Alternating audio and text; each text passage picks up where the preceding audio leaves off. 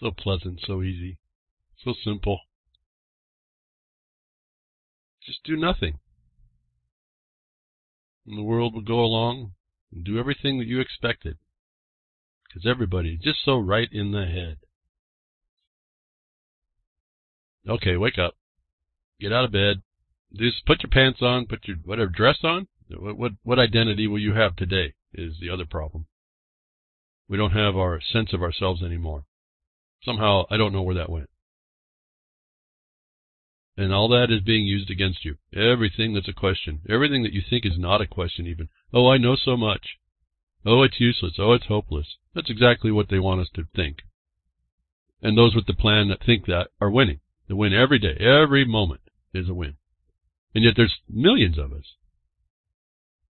A few of which, minuscule percentage, come behind the woodshed or listen on the broadcast, uh, replays, archives, or ucy.tv, or click over at minds.com. Thank you there over there.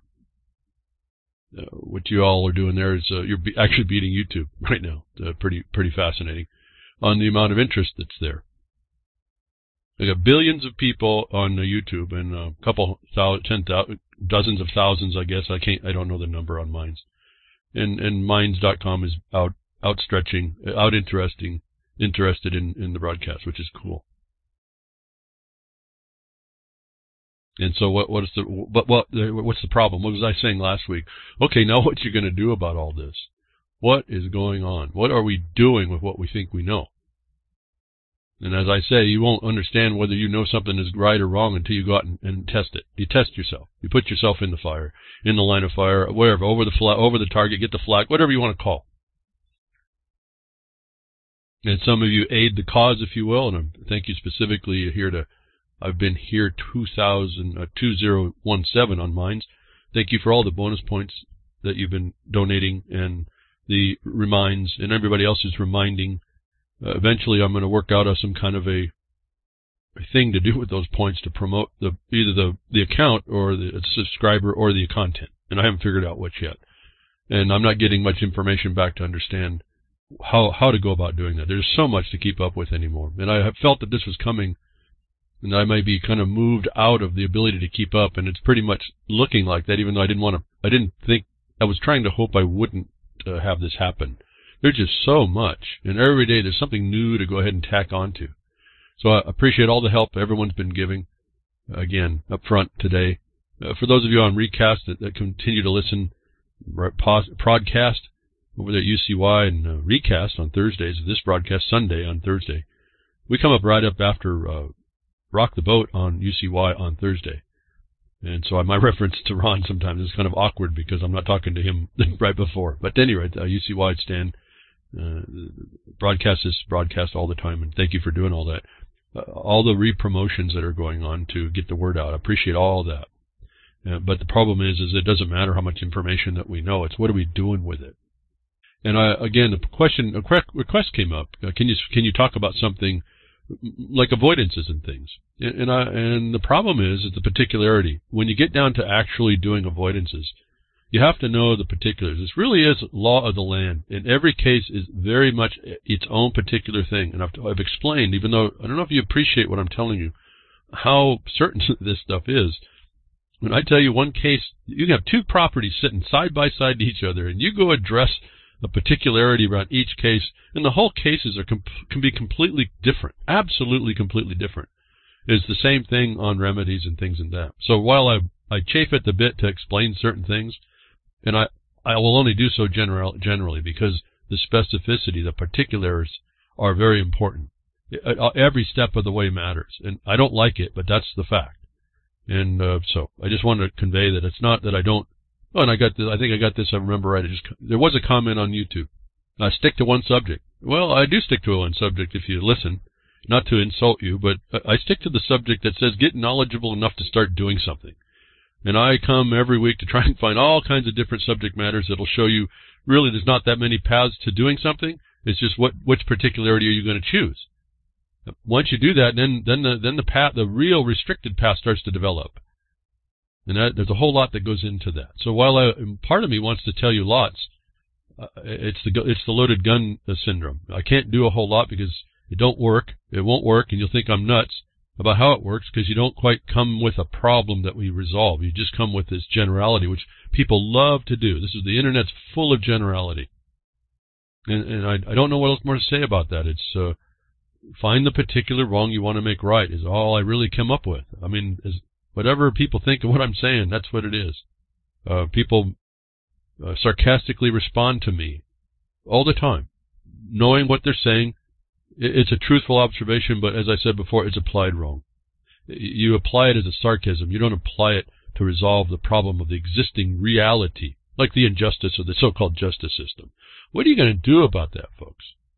This is supposed to be your life living in in some free nature. And we, we missed the point when they said the, the, the government's free. It's a free government. Yeah, you're not. The government's totally free. Those in government, actually. The government's just this framework.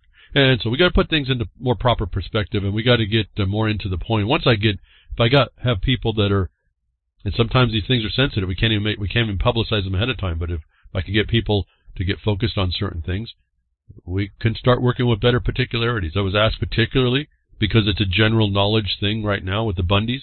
I've offered so many response answers, folks. I, I can't even tell you, and then no one really perceives that I'm doing that. So I don't know what else to do because I'm saying exactly what they have to be doing, and it's not coming. And when the execution comes down, I, I explain to you how to see the the the, the error, and uh, that shows that's another education process. And it's being and things that might be might look to be done what I've suggested aren't done correctly. And I'm yet to have some anybody produce for me how what I've said was done correctly was done. And this is a real problem. I have really no judgment beyond that. It's either, and it's in the face of a corruption, so we got another problem. But that's neither here nor there as far as an excuse. And I, I don't, you know, I try not to denigrate too many things, and uh, maybe as a joke too, but people take it serious. Uh, you know, I would call it the peanut gallery. Those looking on at the Bundy issue. You know, I don't call it the peanut gallery, but that's what we are. We're just the peanut gallery. Uh, have no input, just observation. We're just a bunch of uh, groupies watching a system uh, that's got you in control. But you know, there's a whole ton of stuff that the peanut gallery can actually do. And I don't see anybody do. I see lots of complaints about what's going on. I see lots of recognition of the injustices going on. But I don't see any real paper to uh, pen to paper type stuff. Lead to the paper bit it, uh, better. Oh yeah, everyone goes to go to video on the internet. That doesn't do anything, folks. Uh, it doesn't do anything to make a record. I guess is the point, except that you're whining and complaining. You need to go into the system and find and expose every facet of its corruption. And you need to have documentation so it's not opinion.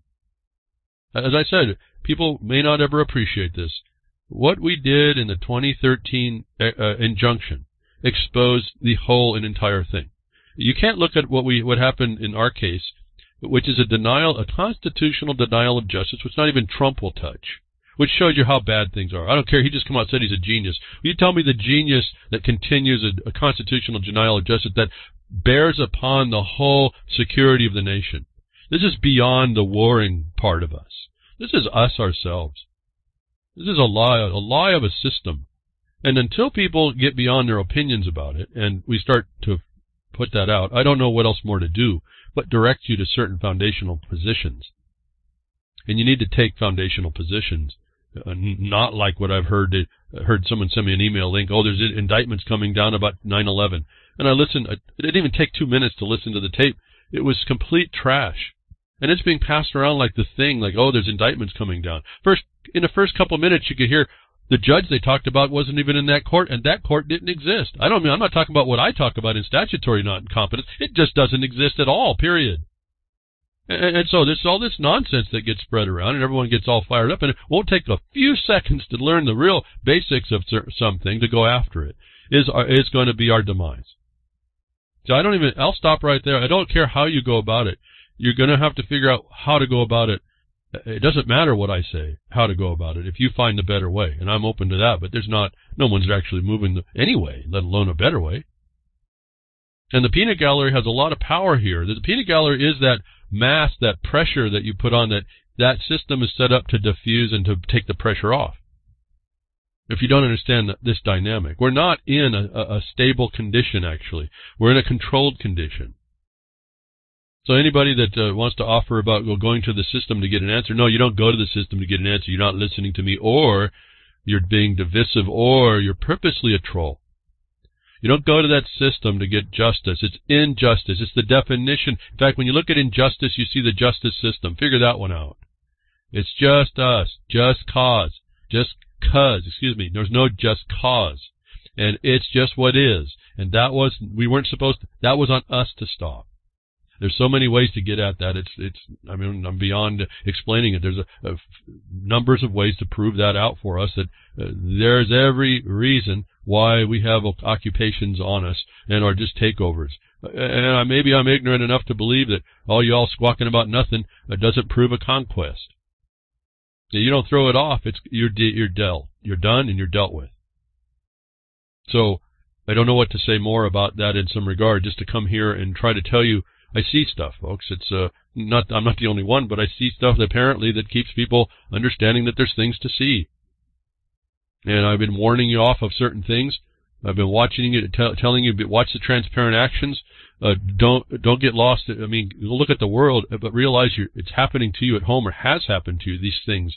Uh, let me just bring up back to my tabs remember last week I told you that this thing in Iran was like it looked like the setup. It looks like the what the the seven countries in five years thing. It looked the color revolution. As soon as I saw it, the color revolution, everybody should have realized it was a setup. And I predicted if it's not a prediction, it's just what's going to happen. I said you're going to watch violence erupt really quickly, and it was. I don't think it was a couple hours out of my mouth. The news was coming. It was violence erupting in Iran. This is just a pattern. If you you can't if you don't get that, uh, first of all, you're you're way behind. But even if you do get that, you've got to understand the dynamic and start to turn around on what they're doing about it here where you live. Similar dynamics.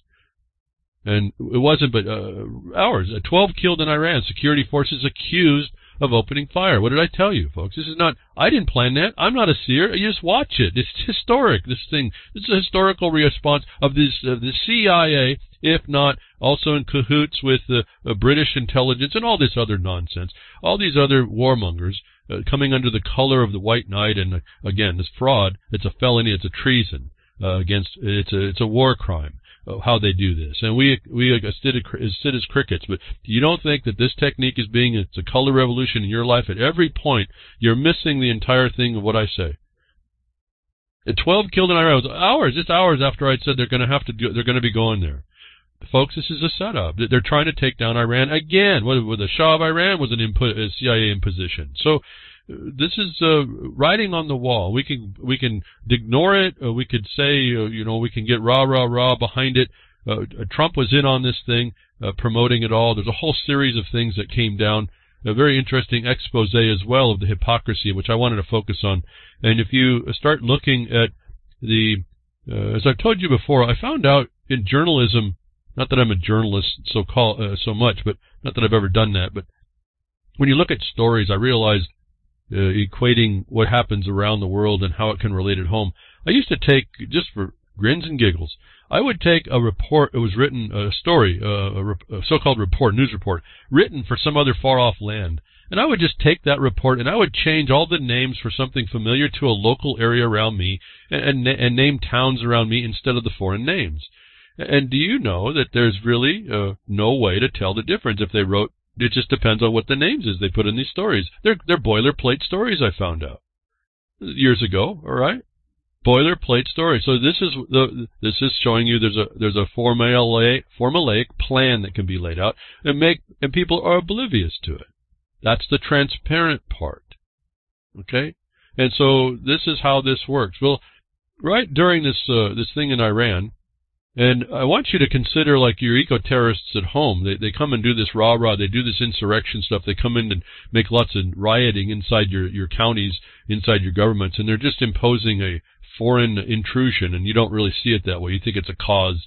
And they come with plausible reasons. And that's another thing. You see the reasons being spoken of are universal across the foreignness of it. Everyone speaks in the same language about how about the target uh, and then you start to see who the who the players may be as well. Their language tells us. Well, immediately on that, we saw Israeli minister wishes Iranian protesters success.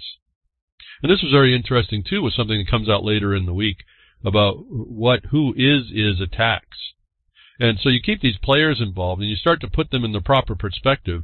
You realize it is, is, is us, and you realize that the attack on Iran is for the benefit of Israel, which is just a tool of uh, the, the Brits and Washington uh, to take over a, a, another another people under a fraud, and we've been through a lot of this as well. Uh, that you see, Israeli minister wishes Iranian protests. Let's set up a whole other idea in my mind, uh, uh and it was an interesting comment about these Iranian protesters. I didn't look that close. I'm just looking at the surface of it. But someone that uh, I find interest in his comments. I'm not so sure now whether or not how how actually comprehensively knowledgeable he is, but because of some of this. Uh, but uh, a comment came out which I thought was very interesting. It was um, through one of the links on Twitter.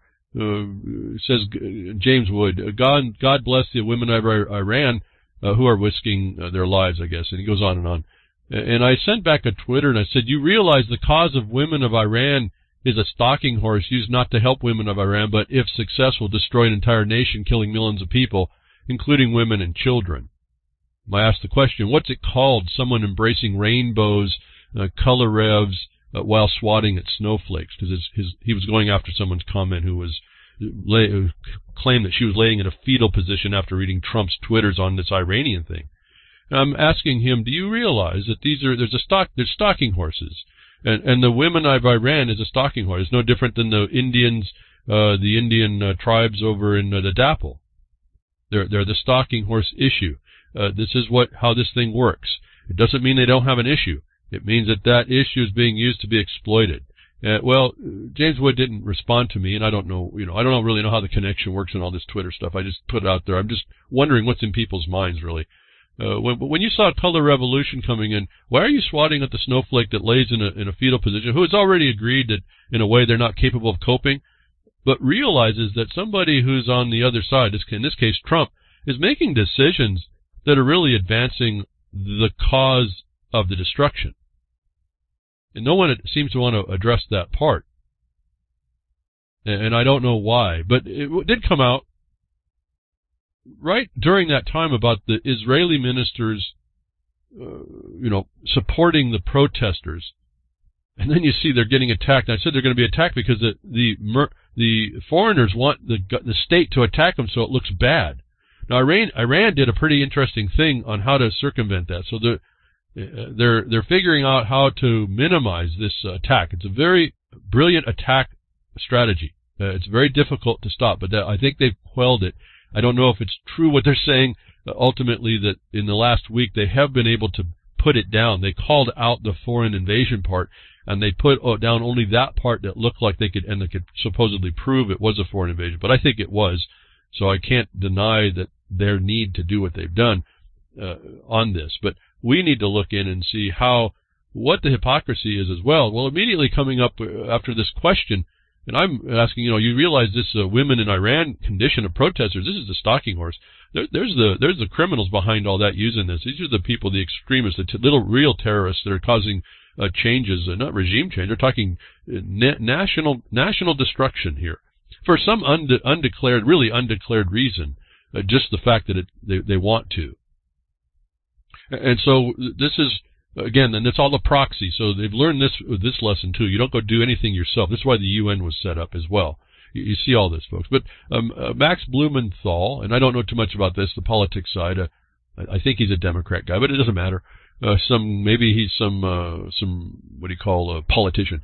But it was interesting his response to this uh, this issue uh, about the Israelis protest uh, Israelis uh, uh, agreeing uh, to to you know success on the protesters. Uh, and he said, Max Blumenthal says in a Twitter, big protests in Israel. So he's calling our attention to what's been going on in Israel, which hasn't made the news much. The people are finally getting wise uh, as to how their money as wealth is being stolen and squandered on terrorism. It looks like they will not take it any longer. Iran is watching very closely for human rights uh, violations, was a political hit against what Trump said. Exposing to us, which is something that was in the news that we missed, if we didn't know about it or isn't promoted, that the people there's people in Israel that are promoting are protesting the very similar types of oppression. And I just want to point our attention again, the governments are are just death, they're just destruction. And the people are being oppressed no matter where you go by these by these systems. People in the systems. And I want to call without going too deep. Remember, know, I was a little aghast a bit when I found it out that Hitler had uh, what the, in the security forces was a Jew who attacked other Jews. So called. I use this word Jew very very loosely. You wouldn't do that if you were actually the religious uh, or pious type. But this is all name titling problems as well. This, these are all stalking horses as well. They're used as a front, the, the, the false front, the spaghetti western. And we, we watch it and believe it. Uh, but, uh, so, to confirm that, Press TV came out, and I know like I, uh, Press TV's Iranian t- uh, Iranian broadcast, but you're looking at the two factions talking against each other, and we just take the information as we see them. But I found it interesting. Max Blumenthal is admitting that there's people in uh, in Israel that don't like their regime, and that's really not even a regime. It's not even a state. It's just this. Uh, it's this. Uh, they call it the occupying force. There. This is a, by definition an occupying force, but set up by whom? Well, we got Britain and, and the United States supporting it. But Press TV comes out and says anti-regime protesters hits the streets of Tel Aviv against corruption amongst Israeli officials. Thousands of protesters march on the fifth consecutive week, calling an, uh, on Israeli PM Netanyahu to resign. How many have heard about this at all? I mean, I've been kind of watching it. I don't study much of it. I just look at it and keep track of that. Uh, that it's going on five five uh, consecutive weeks for it. They've been doing pretty got quite a bit of protesting. Picture you want to get the get the blogcaster, get the link. And so my question on all that, do, do senior Israeli ministers wish their own long-suffering anti-regime protesters success as well? Well, this is the hypocrisy, folks. Is not a, it's a rhetorical question. And self-evidently not with the hashtag self-serving and hypocrites is another two hashtags.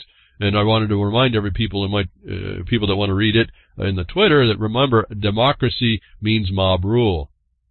And I said the people of Iran better watch out. Remember, we bring we, the United States government and Britain, and a coalition brings uh, the rule of law and democracy everywhere. It's a destruction, and people haven't recognized that. It's it's the Bar Association as well. That's international. That's also sitting in the UN. That's the, the legal advisor to the Holy See, and I find it interesting that the Holy See is not actually a state, but Israel can be. They call it a country. Are you kidding me? Does anybody? What is? Why does anybody point this stuff out? Maybe you are. Maybe we're not loud enough.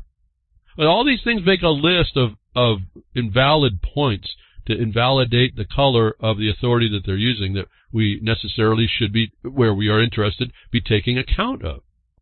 So do senior Israeli ministers uh, pro, uh, uh, wish success to the Israeli protesters, the anti-regime Israeli protesters? Of course not.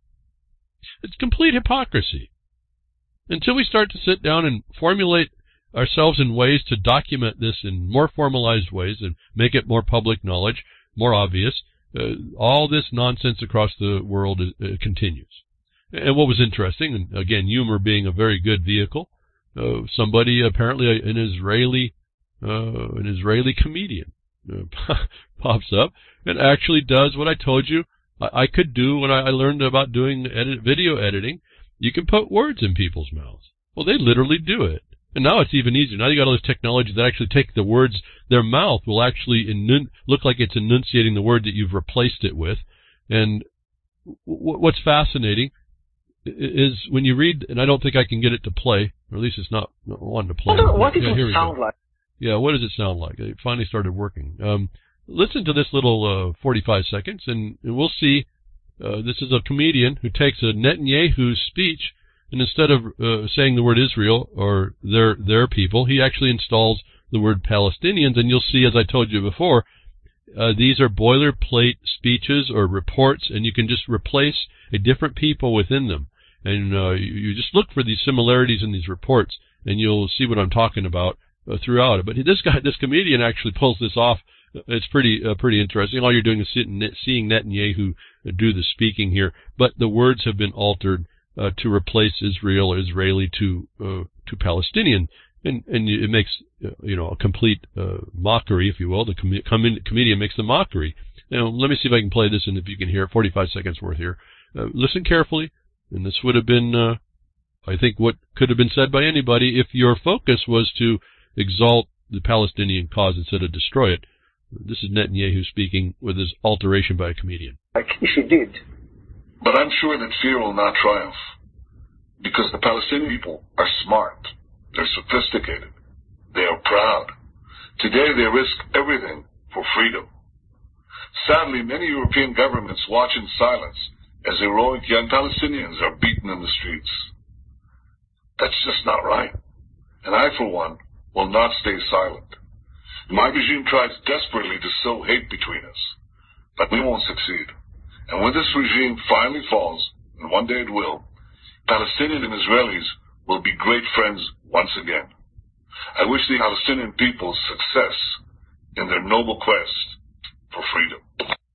I wonder So, what it would so that, sound that like. was uh, so that was uh, you know pretty straight up. Uh, It could be stated uh, stated either way, and this is the mirror that you start seeing in the world. This is what I see. This is what comes to me is the uh, hypocrisy of what's going on, and the thing we have to start cutting through. In this case, this comedian brings out that hypocrisy. I don't know how well it played for him. I don't know what what he's uh, what his condition is now about doing it that way, but uh, you know there may have been some retaliation. Who knows? If, even if not, uh, this is how uh, we we can find and see uh, the the the brutality of the cover that's being used to exalt literally governments over people of of any of either government. Remember, we have the Iranian people being destroyed here. We have the Israeli people, given that they could be called Israelis, uh, there, and then you have the Palestinians, all showing this inter uh, this uh, boilerplate plan and it, all it man, all you do is you just fill in the blanks. It's kind of how they do law legal. Uh, Same thing. If you if you fill in the blanks, even remotely close, uh, if you're an attorney, you you'll win. And we've we've got plenty of evidence of all this. I won't. This is one of those specificity things. If you look very carefully at which I've just done because I've uh, had to look very careful. Again, more point, more to the point. Take away every excuse. Take away error, every error that that they can claim you didn't fulfill the, the statute uh, is why you even do this. And then there's no reason for them, they have no reasons to deny you. But when you look at what the uh, sloppiness of the attorneys are relative to what the statutes say is a requirement, you start to realize it's all just a show as well. And uh, this is uh, this is the, the the the professions union protecting itself. This is on a global scale. You get the politicians protecting themselves, the regimes protecting themselves. It's all boilerplate if you start to see it that way.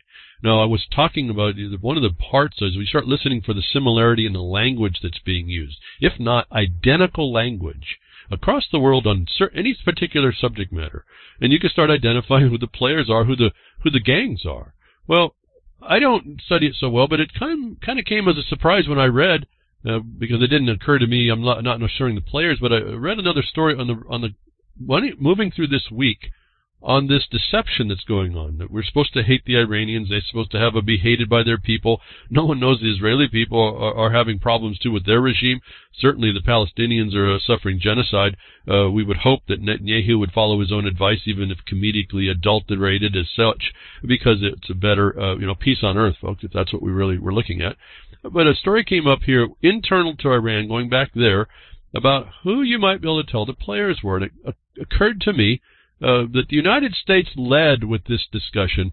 Uh, again, that Trump statement and then Haley, uh, these words, these sentences came out of their mouth first, which caught my mind when I read it from here. Uh, Iran's former president Mahmoud Ahmadinejad arrested for inciting unrest. And what I found fascinating is one of the reasons why he was uh, he's been doing this apparently why he's been uh, gaining notoriety again. He was uh, I think uh, he was like the president or somebody of Iran for eight years, and uh, then they have their elections and he was voted out or couldn't run or whatever. It doesn't matter. Uh, but one of the statements that said that he was running on one of the platforms for this that's been gaining steam for a few months now. This is not just happening, but it's been going on since uh, quite a few months. Was focusing on the the statement is focusing on the fight against corruption and is his main emphasis attacking the rich and corrupt along with severe criticism against the government for squandering public funding intended for the people's welfare, and relative to Iran's fight in support of of uh, Hezbollah and their fight against ISIS, which is is us. That statement, squandering the people's money relative to the support of the war on terror, is exactly what the United States led with a week before. And now I'm wondering who this Ahmadinejad guy is. Who got to him that their language is is identical? Identical, folks. I mean, just, that's how I picked it up. Now I don't know if you're hearing all that, but this is what I I, I just kind of glean so-called the notice for these little tidbits if they're there, and, and this one was there. So this, again, they're right in front of everybody's face. This thing is played, executed so well.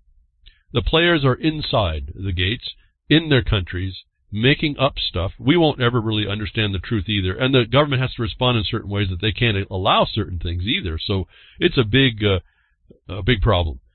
That uh, this is this planned attack on multiple fronts is what I want you to start paying attention to. As I told you, that it's the mirror over there. It tells us what's happening here in your country, United States of America, and every country actually that runs through uh, an agenda, a foreign agenda that's trying to bring on these United Nations agendas, which all nations are agreeing with. So no one shut it down. So don't think that any nation is kind of out of this. Uh, there's no higher calling here. It's just how they're going to influence you to agree uh, with the positions in order for them, you became placated to agree with how they accomplish what they need to do generally. And so in the same week here, we see now Ahmadinejad speaking United States language, which I didn't remember him doing that before. So, well, who got to him, or what's been going on there? Uh, they've got, you know, everyone's in the, uh, there's a, there's a assassins in the gate, so to speak. And we got this report now that comes out openly uh, that the United States gives Israel a green light to assassinate Iranian General Soleimani. Now, why? How would this even be rel- uh, I mean, a bit, how would this even have air to to breathe in the past? Is another problem for us. That would have been really a war crime on its face. Would have been condemned. This is open now. This open season now. And this shows that the, you know, I don't know why Israel would be having to be given a green light. So that story seems to be a little bit odd. They were never ever uh, having to be given a green light. They have open license to go do whatever they think they need. And you were watching this during the Syrian situation. And the people over there, Syria, Russia, Iran, they have a serious problem. They can't just go ahead and stop uh, stop just anything coming in from Israel. They got to kind of take that from them while they're focused on the more important uh, problem. There's a, definitely watching a, a priorities uh, being dealt with in, in Syria. And I think uh, definitely so. Uh, notwithstanding the United States presence and its lack, and the other thing is you see the United States has no purpose there now, and yet it won't go away, and there's really no force and effect to do it because it's a bully and it's a brute. It's the baddest military in the world. And I'm going to hear a lot of people, yeah, you all the USA, USA, USA. That is the wrong attitude here. If we were the baddest, actually, we would be able to use that in reservation and our authority would be in our diplomacy, absolutely. Now that said, that's all a game too. The point is that you would be making different, taking different positions. Trump wouldn't be leading the narrative underneath this same methodological fraud that people pick up to say, oh, it's we're protecting the women. Remember, folks, let me, if you didn't pick this up, uh, the women, the international motives are that use this uh, the, the, the, the stalking horse method is women, the children, and the indigenous. Remember, so they're using the cause of the women in Iran. This is international play. If you didn't pick that up, but who, where do we get the United States give the, the right to give a green light to begin with uh, to uh, uh, uh to this thing that's not even a state, it's not a country, it's been given that by the bullies and brutes and the oppressors, uh, given the status of that in order for it to be the mercenary tool that it is. To go kill somebody, folks. Do you understand this? When did, and first of all, when did uh, Israel ever ask uh, for permission? And then this is just a promotion to let you know that this is the game. This is what's going on. It's through Israel to protect that interest, not because there's a right to do so. And in the same time, uh, that we are hearing that the so-called green light's been given to kill a high-ranking military officer in, in Iran, ISIS goes to war with Hamas for not hating Jews, Egypt and Egypt enough. I thought this was a fascinating dynamic. But remember, is is is us.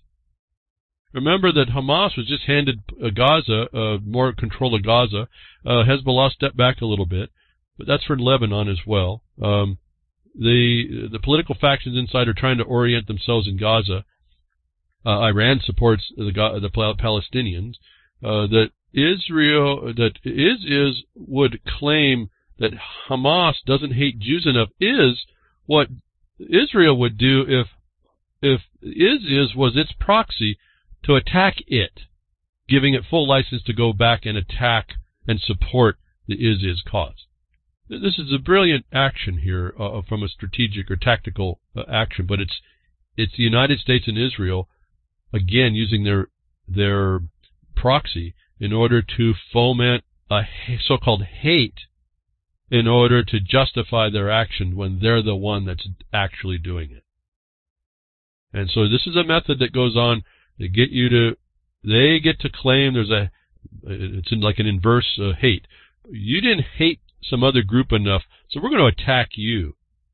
Happens to be the same people, those people you hate would want to see attacked by a proxy and gives those other people say, see, we told you so, Hamas is no good. Perfect. Perfect stuff. And if your gameplay, if you will, your ideas aren't at that level, uh, you're not, you're missing the bigger point I see in the United States in ecological terrorism and all this stuff that goes on that I see this way as well. This is the, uh, the sleight of hand, most of the magic that happens in front of everybody's face. It doesn't have to be as high level as a, what you call a hate crime, which is, you know, a stupid term all invented anyway. Or you don't need to be looking at a, oh, it's a, you know, what they call anti-Semitic. That's all a lie too, right?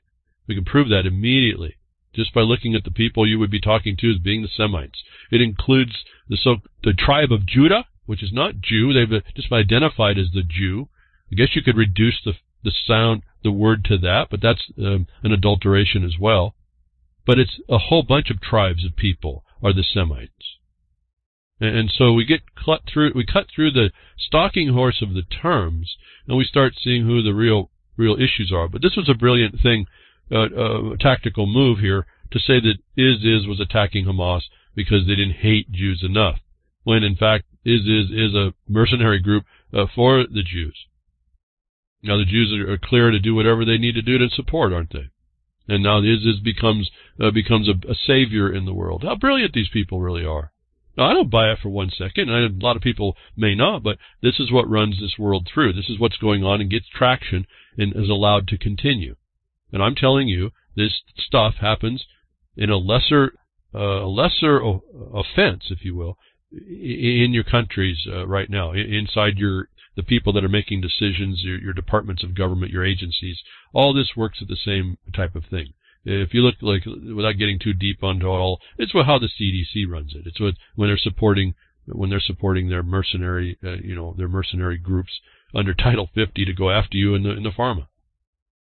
They blame they blame uh, some in, somebody who really has no power to do anything, but has an effect and a force and effect on your mind. They say they're the one, the end all be all uh, enemy. Uh, they have a third party uh, go after them, and they sit there as the regulatory power, right? Because you're just the you have the you have the power, the real power. Now you have to. The point is, what's the point? What's this, what are you looking at? You have to subvert that. That's the end point, not their shenanigans. And this is why I tell you what I do about how to subvert that power gets subverted by certain ways. And not, there's no certain way to do it. You look in any particular instance, as I say, you find what those ways are, and that makes your short list. Uh, that's kind of esoteric. It doesn't give anybody a direction. The, but the point is that's I can see in the way I'm describing, describing it to you. That's exactly how you take care of this. It's not immediate though.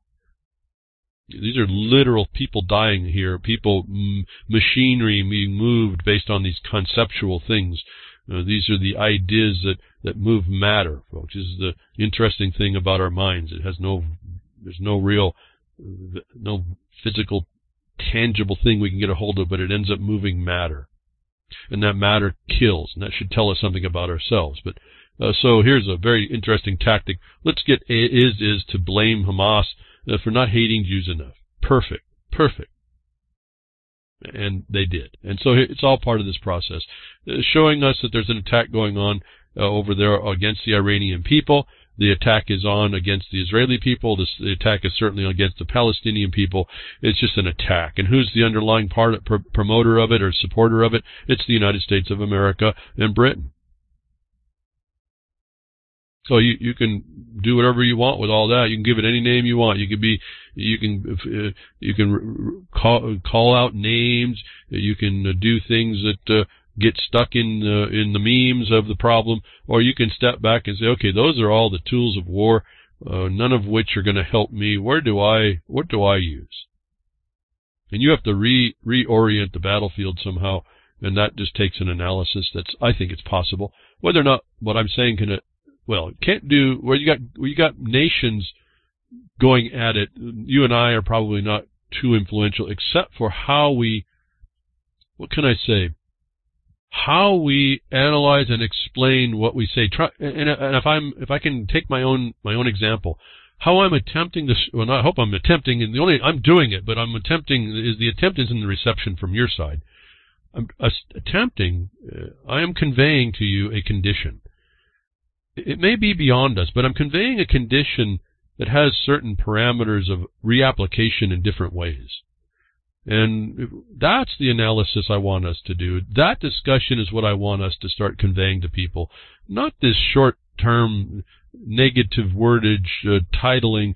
I hate to even go there, but I'm going to have to because it keeps bringing to, and I'm not even versed in it. Just don't go there. But uh, like always using the word Jew or goyim or whatever. I don't even get into it all. It's just too, too, too what do I, how many times am I going to say the word TOO here, folks? It's just two. Uh, it doesn't work. It doesn't get us anywhere. It doesn't solve the problem. It, it just, anyway, I don't know. There's so much it does it's not right. And that's just one. We, we can call it the, even when I do it, I call it the eco-terrorists, although, I, I mean, that's provable. They're eco-terrorists. I don't know what to say about it. They're people that are not a, it's not a belief system. It's an action. They are, they put their, they put their belief into act. They actually affect matter in the world. Uh, there's a there's a that's a that has to be stopped. It's this this action that's going negative, that's no good, that has to be stopped. So it's not a it's not an ideological attack here. There's no titles to attack. It's the acts, uh, uh not axe. So at any rate, so I'm attempt, attempting to convey, or I hope I can convey, that we have a condition that has uh, reasons and foundations that have their outcomes that need to be interfered with and essentially stopped eventually. The momentum, again, the mass starts to move. It's just like physics. A mass starts to move. It takes some energy in certain ways to see either deflect it or stop it. And if you've got like what you perceive to be the what what the unstoppable mass, well then maybe your best answer is not to stand in front of it, but deflect it. Just take it off its take it off its course. That takes a little bit of analysis, and then it takes what action. What I've been trying to try to explain. It's, everything has its uh, its thing. Now I ended up biting up uh, biting off a big a big chunk. Maybe it was maybe maybe kind of big, not necessarily too big because it's we're still plugging away. None of us are hurt. I told you we do things in a way. Uh, got my colleagues and I that we're not in trouble. We don't do things to get in trouble. At every turn, we're exposing the problems, and we're hoping at some point some people, more people, come to bear to to, to, to see that and then do to, to help and not, not make excuses. It's not palatable to a lot of people. I realize that, but that's not the problem. War is not palatable generally, and so I don't know what else to say. Uh, I'm at, at, a loss beyond that.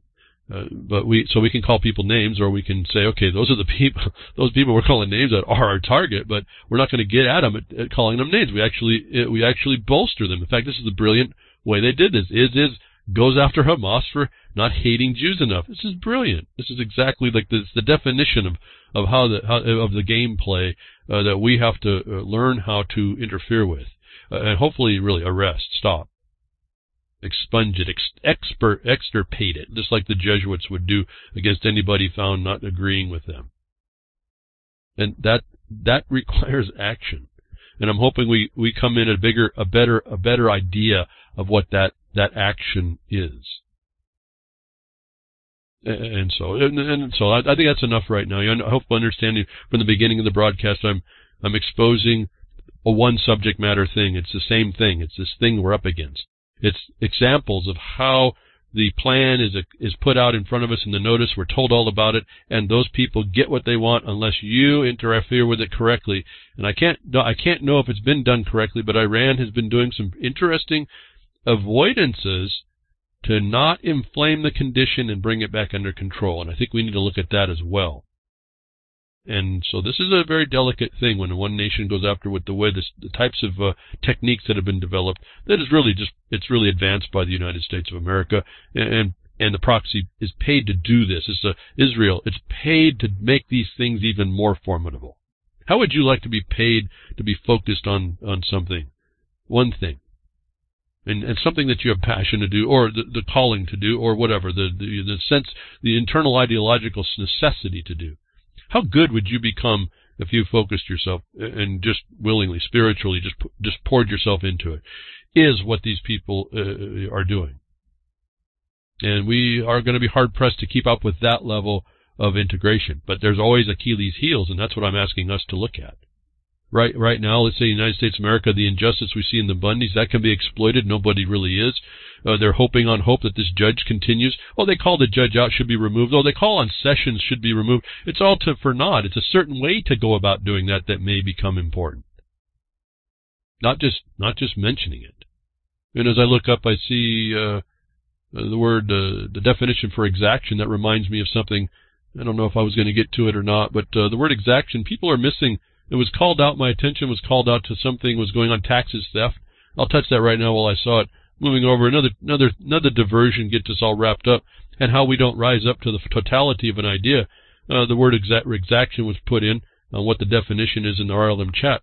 And, uh, it's a, I'll just tell, I've told you, it's a wrongful extortion. What people are missing within the context is that it's applied to a civil right. Uh, the definition, it's a definition for a civil right. And so people were going through this taxes theft uh, theme uh, dialogue, a thread on, on Twitter, missing the entire point about analyzing whether or not it sounded better that taxes theft or taxes extortion. We're missing the entire point that that's your civil rights. Doesn't matter how you think about it. It's a wrongful extortion uh, against you. And nobody, so everyone gets involved in bickering about whether what sounds right, what does it feel about it, and then no one understands what the uh, oppression is or even who, who can begin there to even you know and get close to beginning a plan, a tactic, a strategy, a whatever to start to begin to understand enough to stop what it is, or what I say more importantly, avoid it. Stop complaining about it. People don't appreciate this whole point. What I say, you don't walk into a justice system and expect justice. No, you out it, and there's certain ways to do that. And so uh, we can we can bicker amongst ourselves on what should be sound better, what the best meme is. It's not going to solve a thing ever. You know, what do you know? Fine, doesn't mean nothing either. That I'm telling you that means nothing. Till you go through the nuts and bolts of what I tell you about the problem with the taxation and the imposition of civil rights and the status that you presume, notwithstanding your innocence, and how you can make a record to get rid of all that and then attack attack the constraints of what was coming against you, the government against the constraints that it has, and make a public record. Until you got that down, and that's not really that hard to do, uh, you're doing nothing. Making the excuse, so you're just doing it to get along, uh, is doing nothing. It's it's aiding and abetting the, the felony against us. This is the the main point, but the methodologies are really kind of the same across the board. No different than jurisdictions as I've told you before, these these judges wear different hats. Now, you, you can look at one analysis is there's only two things. It's either uh, law or equity. That's it. Uh, and the, the so-called law ends up being admiralty. They've joined it all at the federal level. And then you look at the states, and there's not much difference. So we, there's a whole analysis there. But even so, you got common law, commercial law, admiralty, equity. You got all these different types of uh, administrative, all this stuff. You can the, courts have different hats. The judges wear different hats depending on that. If you've done enough research, instead of complaining about it all, and you started organizing it up, you'll start seeing there's threads of consistency. The difference and distinction is only to the term used between jurisdictions or authorities. And if you know how to do the, I told the magic decoder ring in a way, uh, you, you have the translator between the jurisdictions. When you know one jurisdiction speaks in one way and another speaks in another, and they're applied in their specific, their specifics that way, but that they have the, a similar impact between the jurisdictions, and you stay on those, then you'll be able to travel between the jurisdictions when a judge goes around trying to lead you by the nose. As I've told you all this before. Is that defeating the system? Is that expecting it? No, that's anticipating. That's what they're going to do, and I've got the weaponry. I've done the study in order to understand that's going to be the case if I find myself there. You're smarter, uh, more intelligent. Forget the smart. Uh, that's technocracy uh, uh, upon you. Uh, intelligent. You're more intelligent to avoid the thing. How do you do that? Well, I've talked about that too. That's this supposed supposed administrative imposition before you get to the so-called court of justice. And so I don't know, again, I'm talking in generalities. I can't give you a specific. I can specifically talk about, like, exaction is tied to taxes and punishments and pains, and that's your civil rights. How you go about any particular response really depends on really the condition of who you are in front of, what you're talking about, uh, what's involved, all the politics that might be there, the general corruption, uh, what tools you have available, uh, what you can do to out it. Again, the Bundys have a, plethora of things they can be doing, none of which is happening. And in particular right now, we see there's a complete destruction of, of the idea of justice. The mere appearance has been blown so far, has been surpassed so far. I hear not, I hear crickets on all of that stuff. But so anyway, here's the here's a neat uh, a neat uh, dialogue here this last hour or so, uh, talking about the international way that a country gets uh, uh, set up and to, for a takedown, all the players that you can see start coming together. They come together before the fact. You see them implement the plan. You see how the techniques and strategies are working. And if you start taking taking a step back and just analyze that, I'm telling you, in a it's not as a in a lesser capacity. Those same methods of of strategies and tactics are being used against you in your countries. This is well laid out. This is an international plan. This is done by international people. I don't know how it came like that, but that's it. That's what's going on. Uh, and so moving moving into the international spectrum of how they keep control and how they've been getting that way and how we keep allowing ourselves in and, and having and it's difficult it's a difficult um, it's a difficult problem. You're offered something, a tool that's very effective, but that it's uh, it's compromised is a very uh, delicate thing to approach. And now I'm moving into the control that, that the global uh, control beyond machines on the ground killing people is the control, the digital control that our globe, our world is now moving in through, which all again has its centric, it's centered in these same peoples. Interest, interestingly, if you didn't understand, there's a plan uh, that should be uh, the correlation of which should uh, give you pause for at least some thought. Maybe not even to the point of an opinion, just the observation. Well, yeah, these same people are doing that, and they're doing this here. What I'm talking about is the digital realm, uh, this big data that's been planned for just decades and decades and decades.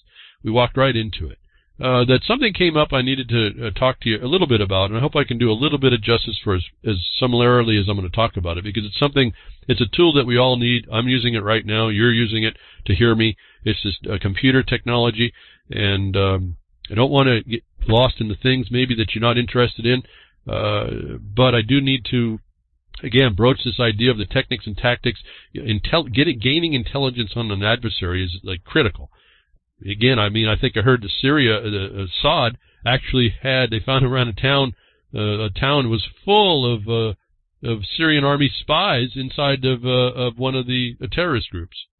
So uh, in, they were gathering intelligence the whole time, which is to the, certainly to the benefit of the uh, of the government in defeating this terrorism.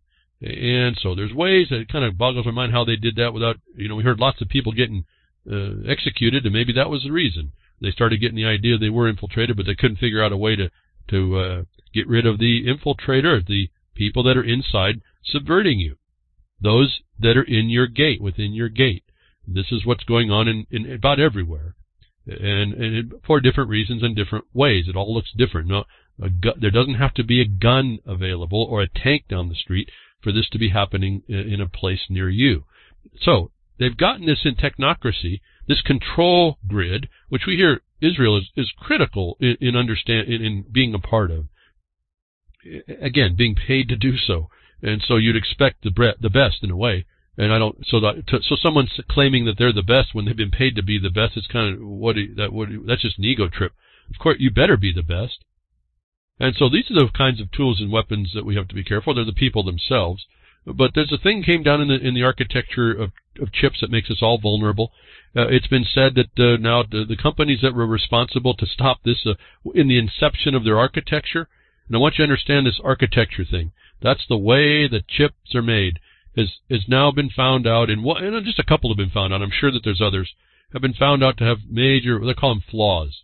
No, I think these are part of the plan, but they're called flaws, and they really are serious, serious things that companies are saying that they are taking uh, measures on the software side to fix.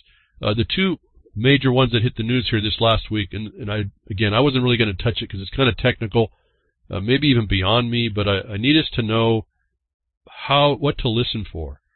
Again, the what you're told and what you what is not told becomes important. The, the two uh, major flaws at this point are called Meltdown and Spectre.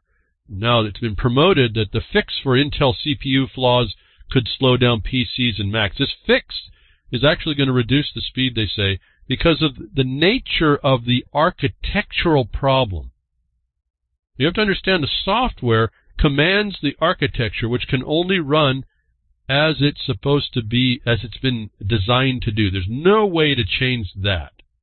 As I told you about being a design, um, we uh, R&D, we designed like the first programmable pacemaker.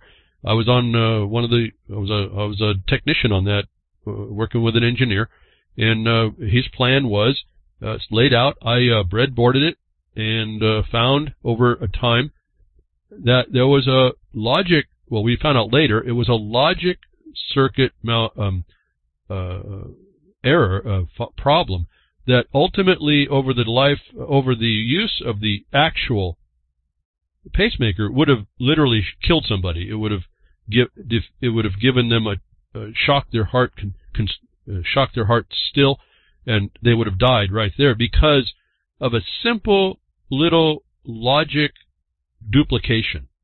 And that for this is down at the level when we could do it then, and it's gotten so much smaller and faster and, and, and uh, than before. But the, engineer added a second logical step that wasn't required. It was a four gate NAND NAND gate section. Very, I mean, just a minuscule compared to the whole chip. That little delay, having to go through the logic twice, turned out to become this is the hard part of a fun, It ended up being the same outcome, but it delayed the circuit by the speed with which those gates were working to come out with that second one. And that delay, that infinitesimal delay, was in the architecture in that chip that it didn't matter what you set the parameters to, whatever the parameters that you set by software would run through that chip, and that little infinitesimal delay would give your, your patient a heart attack in the end. About, I think I calculated about six months down the road. All the production machines would have gone on, and in six months people would have been dying after they got their thing. On a, it was a four NAND gate logic section. So I'm bringing that as my understanding of how this works at the hardware level. And it didn't matter what your software. Well, these fixes that they're coming OSs and, and these meltdown, they call meltdown, literally meltdown. Uh, and I won't get into how they're describing how this works has to do with the architecture, how a regist- how the memory is read, how it's shared between uh, the the main uh, system memory and the user memory, and all these things. But they're claiming that the design can be fixed. The design flaw can be fixed by software.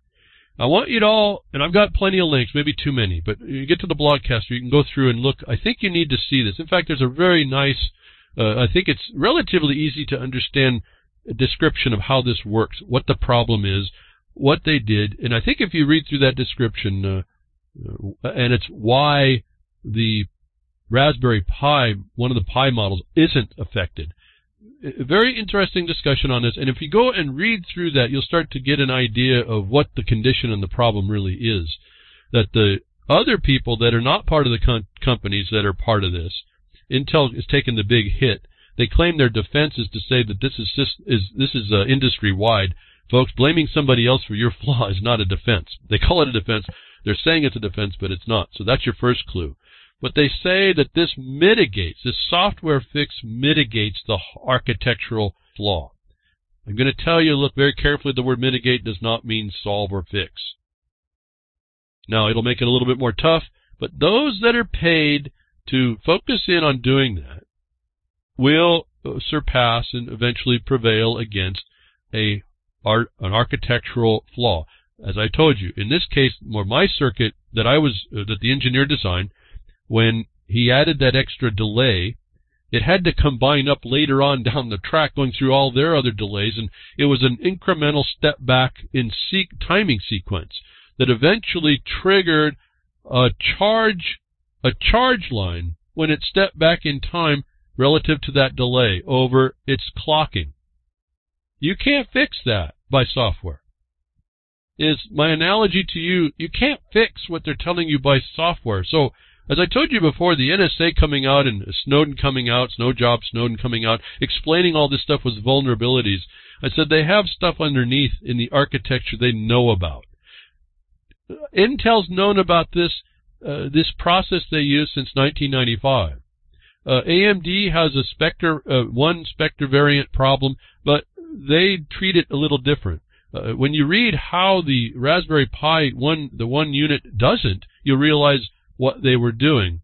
What I started to start to pick up again, looking at the generality of what we're being told, it started to hit me in a slightly different way. First of all, I really don't believe this will be fixed. It's mitigated. They tell you they admit it's it, they admit it's only mitigating the problem. That and that has to be because it can't fix the architectural hardwired condition. That that has to be programmed. That's programmed in the making of the design of the chip. And so you you can't fix that. You can block things out. You can re, uh, interfere with access. You can treat errors a certain way. You can start looking at certain errors a certain way.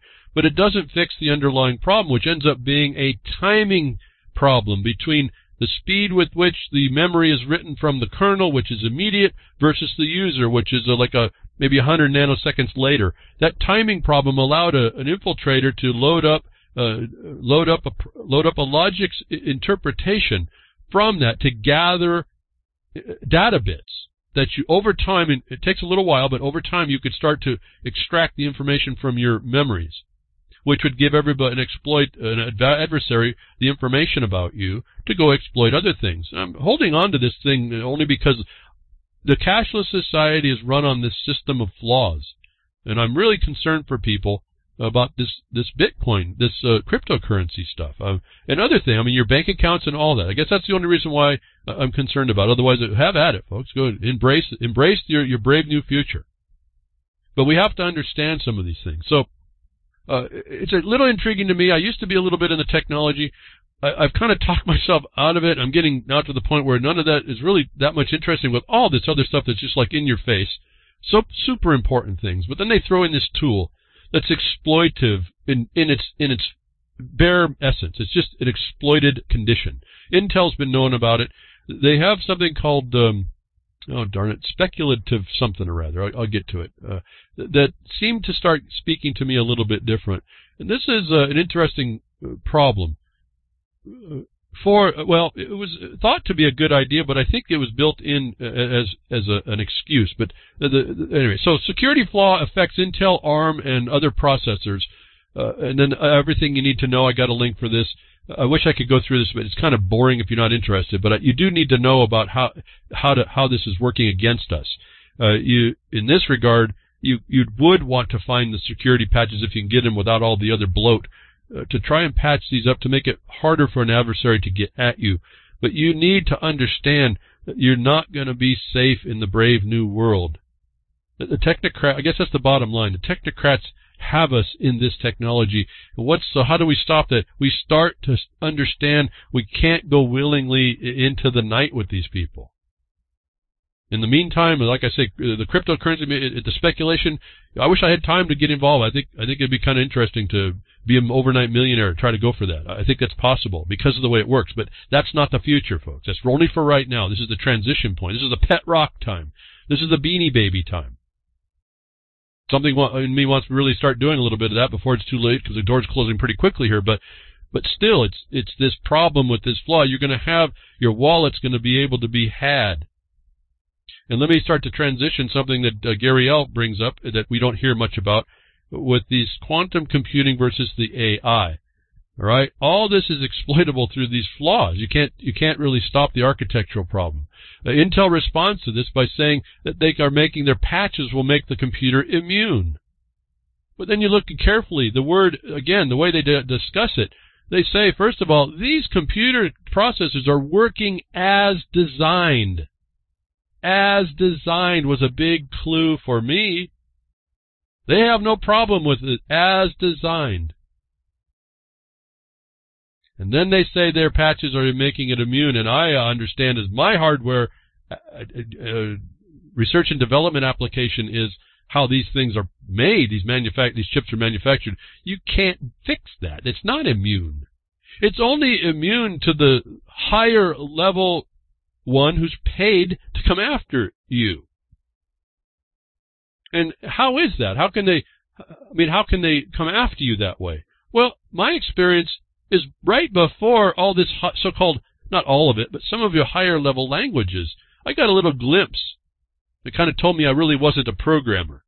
But I got a little glimpse on how you actually use, you actually dictate where a bit goes and where it doesn't. How tedious, folks. I mean, it just drove me nuts. But what I started to fix on, we'll get to the how you can do this bit by bit, you adjust stuff if you're of that knowledge. And I was told back then there will be very few people that would understand this very basic languaging in order for this to happen, but they'd still be around. They have to keep some people in so they can do this. Well, I'm sure that the government keeps a channel of people that know this basic, the most basic, how do you direct a machine to do a bit? You know, where does it go? What does it put? Exactly where does it go? How does it work? That is, is the weak, the Achilles heel to this software problem where a hardware uh, uh, exploitation sits. Uh, there's a comment, uh, I mean, a discussion about the Raspberry Pi. Uh, the guy goes through a very interesting, uh, clear, it seemed clearly, it should be most people with a basic idea of computers should be able to understand it. It's kind of interesting on how they've worked it out. You start seeing the computer science and computer math and all that. So really, you got to be lost in that world in order to understand it. But what I started noticing as I was looking through is something that I've been a little um, uh, skeptical of, this so-called uh, quantum computer uh, and this AI together, where I see a discussion called, and it's how the processor works. There's something called a branch predictor that's in a computer. And this is just a process. I won't go through all of it. The branch predictor, this is all best based in spec this um, speculation of the probability of something turning up in a sequence of, of or of um, com command codes. That is dependent on, and this is they've been really brilliant about how they've been doing this. So that what they were trying to do is trying to fill the computers run a lot faster than they can run the logic through, and they were trying to keep the so-called pipelines, the, the channels that have data in them, full, so that the processors were work, working. And and to make them faster, they could put in, they put a logic stream. You could put in false information as long as the, the, the stream, the pipelines were full, and then the logic on the end would get rid of the false parts. Well, this is what starts to have the problem. You have a pipeline full of information that may or may not be false. It's speculative information, data, that is being worked on. And then you have branch predictors that are working to predict how they feed the information out in these pipelines, which one they're going to select. It's all a logic-based uh, condition, and, and apparently it works fairly well. Now, this speculation issue, this has been happening uh, since like 1995, and the I think the 486 started to have it, uh, the, the the processors from Intel, where they would try to anticipate what logical statement is going to be used and then insert that in the pipeline. And it's beyond me to explain or be able to understand right now to explain uh, some of the problems, and I don't think we need to get into that. What I started, I wanted to go back to is branch prediction and speculation didn't sound much more to than to me than the quantum computing that I was telling you about before, except that it's in a it's in the software, it's in the it's in how the how the hardware is going to handle the software. What I was talking about before, about what it looks like they're doing, is problems within the chip itself, the the uh, characteristics, the electronic characteristics. The resolution to look at those may be such that you take a probability, you speculate on that, and then you have a logic that predicts what the outcome is going to be, and you are do and you're doing such a good job at it that the probability is very good at the other end, high probability that you're right, has really started to sound what I'm looking at here again. And I wanted to point out this. I'm uh, this is almost if as I read this Pi article, it started to tell me exact more exactly a different way to approach what quantum computing is. You're working on the anomalies in a system. They say that they have space within the computer. They, like the CPUs are running with dead space. They actually input information into that space. It's speculative information. It's based on something that they want, that they need to have happen, and the, the way it all works out ends up working pretty good. Then I started to look at this explanation of the Raspberry Pi and how it does how this Pi doesn't get affected by it, in the explanation of what they're trying to do. And I started to look at this is a no different than I told you when I worked with a uh, an engineer uh, in a literally in a basement, uh, coming up with all this uh, interesting. Um, well, at the time it was quite a few decades ago, uh, military applications, and it was stunning to me after going through a school to learn about electronics what they didn't talk to us about, simple uh, resistors, how they really work, capacitance, how it really works, what things you can look at inside there, what these simple uh, circuits can actually do. A simple 4-bit microprocessor can do such a great amount of work with simple little components. It was just blew me away. It was just like a, kind of a, a neat insight, like a little kid in a candy store looking at what these, uh, how simple it is to do certain things. It doesn't take a lot of complicated uh, knowledge. You just have to understand the materials that you're working with. Then I started to understand this thing a little differently. That these flaws are exposing to us how the system industry really fabricates computing in a way. And there's really intelligent people working on this. They're stuck, this is their life. But they've worked out how to work with these flaws, how to work with these inconsistencies, these shortfalls, these incongruities. And they're really effective at doing that. That when I read, I wanted to, I guess, point out this, this Pi article was important, I think, for the, possibly, maybe, I hope that's not a, a false lead for anybody who's interested. If you understand what they're working with here, when you start working on uh, probable probability, speculative probability, speculation, uh, prediction, and then you multiply that on channels, or you dedicate a computer not that the channels are using the, the dead spots in a channel, but the entirety of the channel to do this work. That your technology starts to come otherworldly compared to what's existing. Now, what it ends up being is nothing more than than this, this uh, like climate change, this hypothesis. If you get enough people believing that it works in some way, uh, that this uh, this this relation to that, again, this relation, and the problem with this issue is a relational problem. It's they call side side channeling. You don't actually invade the system. You're looking at how the system is responding. And that creates enough information for you to make sense. You actually make sense of it. So you're not only not touching the system, you're making sense of what's going on inside the system without interfering with it. It's like spooky action as a ditch, as a, at a distance, is what it seems like to me. All these terms are relatable into other areas, and if you just frame them up in that way, you'd start to see maybe that's all this quantum computing is.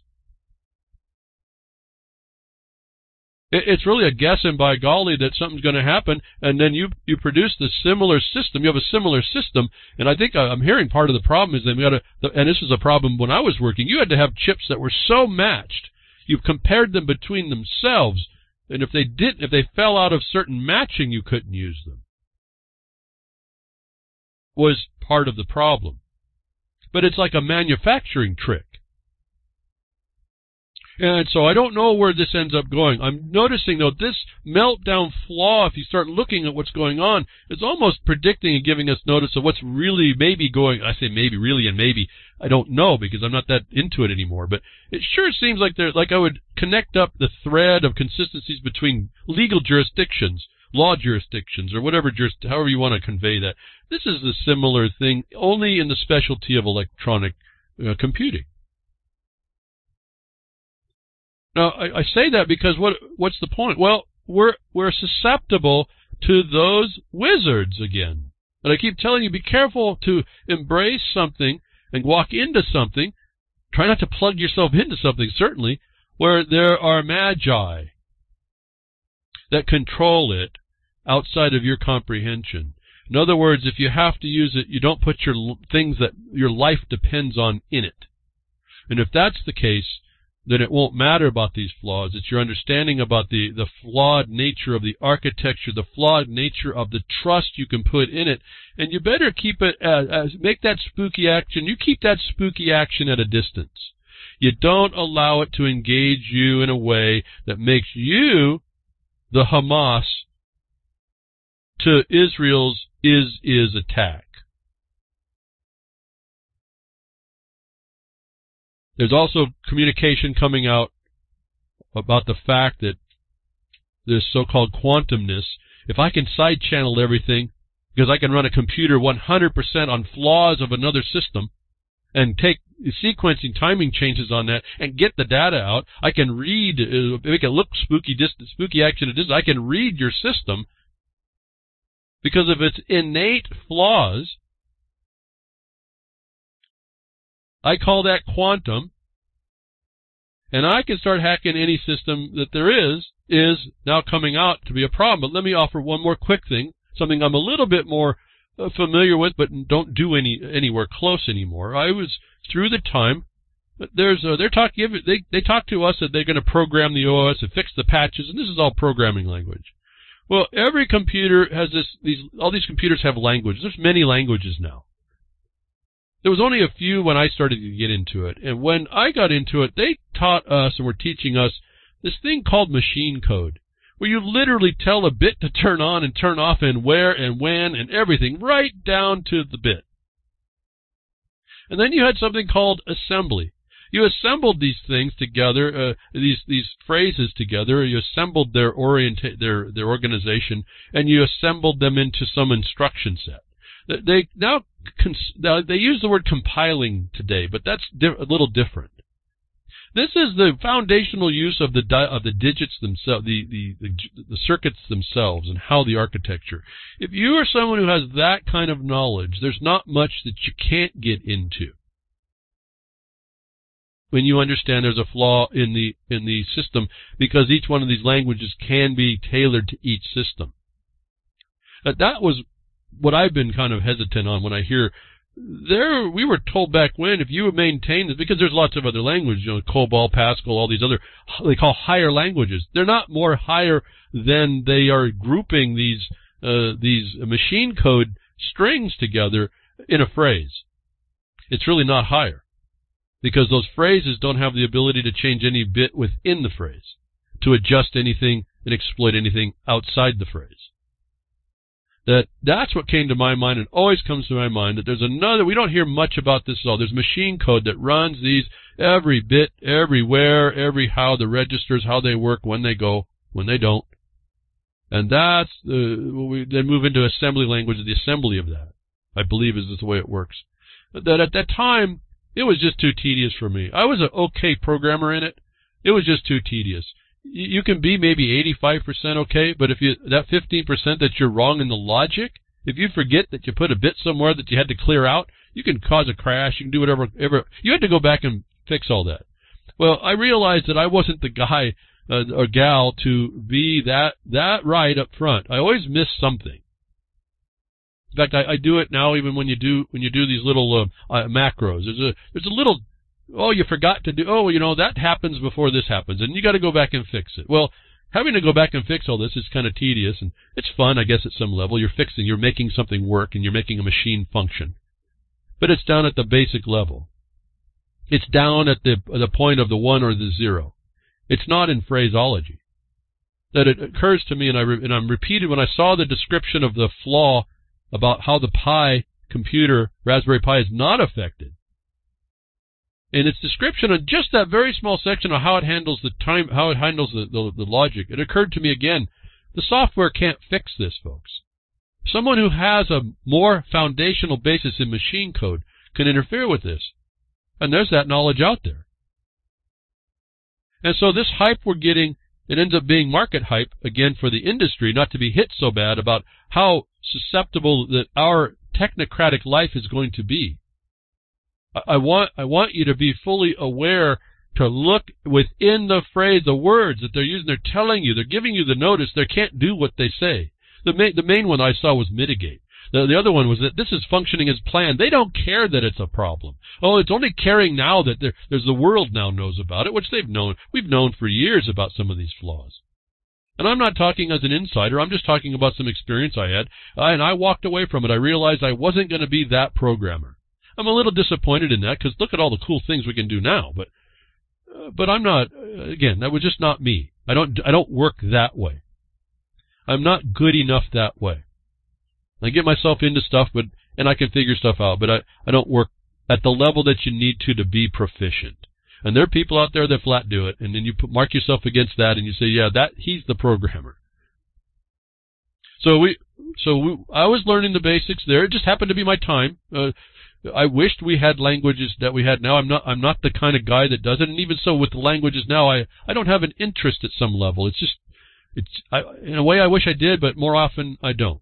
And partly because my mind is so wrapped into what this harm that this oppression that we're under it seems people are oblivious to that I am really focused on that. It seems it seems to be a, a almost a diversion to work on the computers at this point. That's why I'm only worried about whether or not when I turn it on it will work. Last week we were having trouble with the connection. I don't know why. Uh, we I lost the uh, the internet for on one on one system for two days. It just wouldn't hook up. Finally got it working again. Uh, one day I told you that we could be cut off. Uh, we might be cut off now. I don't know. I don't look up at the machine much. Uh, but this is the tenuousness of this system. Uh, this technocratic system is a, global control by the players in the world that are using the techniques and methods against you that I see written all over the Iranian condition. And then it came up in this in this flaw. I think this flaw is a diversion to make you think, uh, give you credence, and put trust in these systems. I'm here to tell you, folks, unless you have a better idea than I've I've come up with it, stuff I've forgotten over decades, you better look very wary of, at this. Uh, please consider before you put your life into certain bits of this. Don't start becoming dependent on it. They want you dependent. Interdependence is the United Nation way. Every nation in there is involved with making that so. Every nation has its own protesters. And when one nation will look across and say, hope their other protesters are successful. Don't look at my protesters. Look what Intel did. Oh, it's, it's system wide. They're everywhere, this problem. Don't look at, I'm fine. I'm immune now. Now, for the most part, they can make it more difficult. But they don't make it easy to make the fix either. I've been looking around. I don't want to Windows bloat. Do you think I can find a security patch for this stuff only? No. No, they're gonna. It's all tied in. Now they're showing you, folks. If you've got a Mac or an iPod, you think in your phone, Do you think you're escaped it? No, all these processors. Remember, Apple went over to Intel uh, quite a few years ago. Everything is is sitting there ready, ready to be plucked. You got your what's in your wallet, folks? They say Intel inside. You better believe it. There's an, a, there's a machine code guy out there that knows how to get in your system no matter what. I guess that's really the to me that's the, until I see that changed. That's really been the the the subtle secret, the open secret. And though you may not hear about it, and I'm sure that there's not much uh, there's not much uh, uh, place for them. Well, there is in the in the security breaching issue, I think. Well, it doesn't benefit commerce, otherwise Intel would have fixed it, right? Otherwise, there's another thing that benefits commerce, so-called. And we see it coming to fruition. It's been in the records, in the laws, it's been how they operate it, and it's all reduces down in some regard that you uh, will be paying exactions of every kind. And they've got a system to plug you in just like Silent Weapons for Quiet Wars, and on and on and on like I talk about over being fulfilled right in front of us. And here's this flaw I think exposes not only that you're not you're not immune, that this is planned, that we do it, it's as designed, uh, that the software is being covered, it's a stalking horse now uh, to, to, bolster their abilities when they can't, uh, that keeps you silent to, to, understanding there's more fundamental uh, uh, controls that you can do with a machine to direct it what to do. I mean, some of this is simply a machine code was like a, a router It's simple commands that made it go do around, but that wasn't the machine code. Those were just the mnemonics that ran the sequence of instructions in machine code. And then they went to this stuff called these operating systems, like then they put a nice face on it, and you you don't realize it's actually the it's actually the the the uh, matrix screen running down. That's what they're actually running with. Linux uh, users can see that. You get to see. Uh, can you want to display what they're doing, and you see just line code lines of code running fast as it'll run. That's the real computer system. And it's put together by people that are brilliant in their own right, but they're dealing with understood flaws. They're dealing with technology that's not quite up. In other words, filling that pipeline was a flaw. They were trying to, they were taking what a computer can do uh, that the software couldn't keep up with and making it more efficient. And they did it okay. except it offers some new insight. And I think this insight between the flaw of the melt, uh, meltdown and we see this the way they discuss it, I think exposes maybe what this so-called quantum computing is. Uh, quantum computing may be nothing but a big side channel process. If I can put it that way as it comes to me to say. And so you don't, okay, I said it once, I'm going to say it one more time and we'll move on. Uh, how your life is hackable comes up now. Uh, how the most, uh, the people that should know better are still susceptible, and that puts everybody vulnerable. Do not put your life into the technology. Do not keep bringing the, do not plug yourself in. Quit bringing big data stuff in. Start making a voice that you won't buy it. Don't buy it. Uh, do your own things older. Uh, start teaching people how to do things more more basically, even if that means a little bit of hardship, because the hardship and the woe going to come on you. What are you going to do when they close your account and it wasn't even the government that did it? When they stole all your, your Bitcoin, you went into your bank account because these flaws were as designed, folks.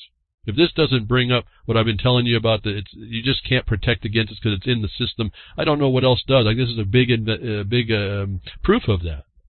Uh, and here's how you're susceptible. Even people working with the with the government, contractors with the government, uh, suppose you would think they know better, are are are uh, are vulnerable. Mystery hacker steals sensitive quote sensitive data on Australian F-35s and newest spy jets. 30 gigabytes of defense-related data covering fifth-generation F-35 fighter jets as well as Australia's newest warships and spy planes has been stolen by a mystery hacker Local media reports citing a top cyber intelligence official says, and uh, what would you think? You're going to hack a drone, and all of a sudden a missile goes out somewhere on your head.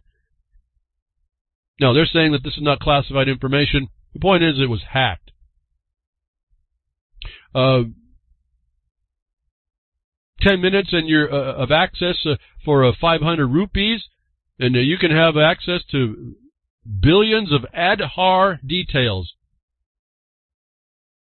Someone's hacked a whole database and no one knew it was hacked and now selling for 50 rupees the information on the internet. It has to do with people involved, personal data from everybody. Oh, it was only last November that the UIDAI asserted that Aadhaar data is fully safe and secure and there has been no data leak or breach at UIDAI. Today, the Tribune purchased a surface service being offered by anonymous sellers over WhatsApp that provided unrestricted access to details for any of the more than 1 billion, 1 bravo, illion Aadhaar numbers created in India thus far. Uh, enough said there. Uh, secure, not so much, folks. This is your life. This is your digital technocratic life in the future. Uh, it's going to be up for sale as well. Uh, no one really understood how it happened, but uh, you can buy this information that's supposed to be so secure.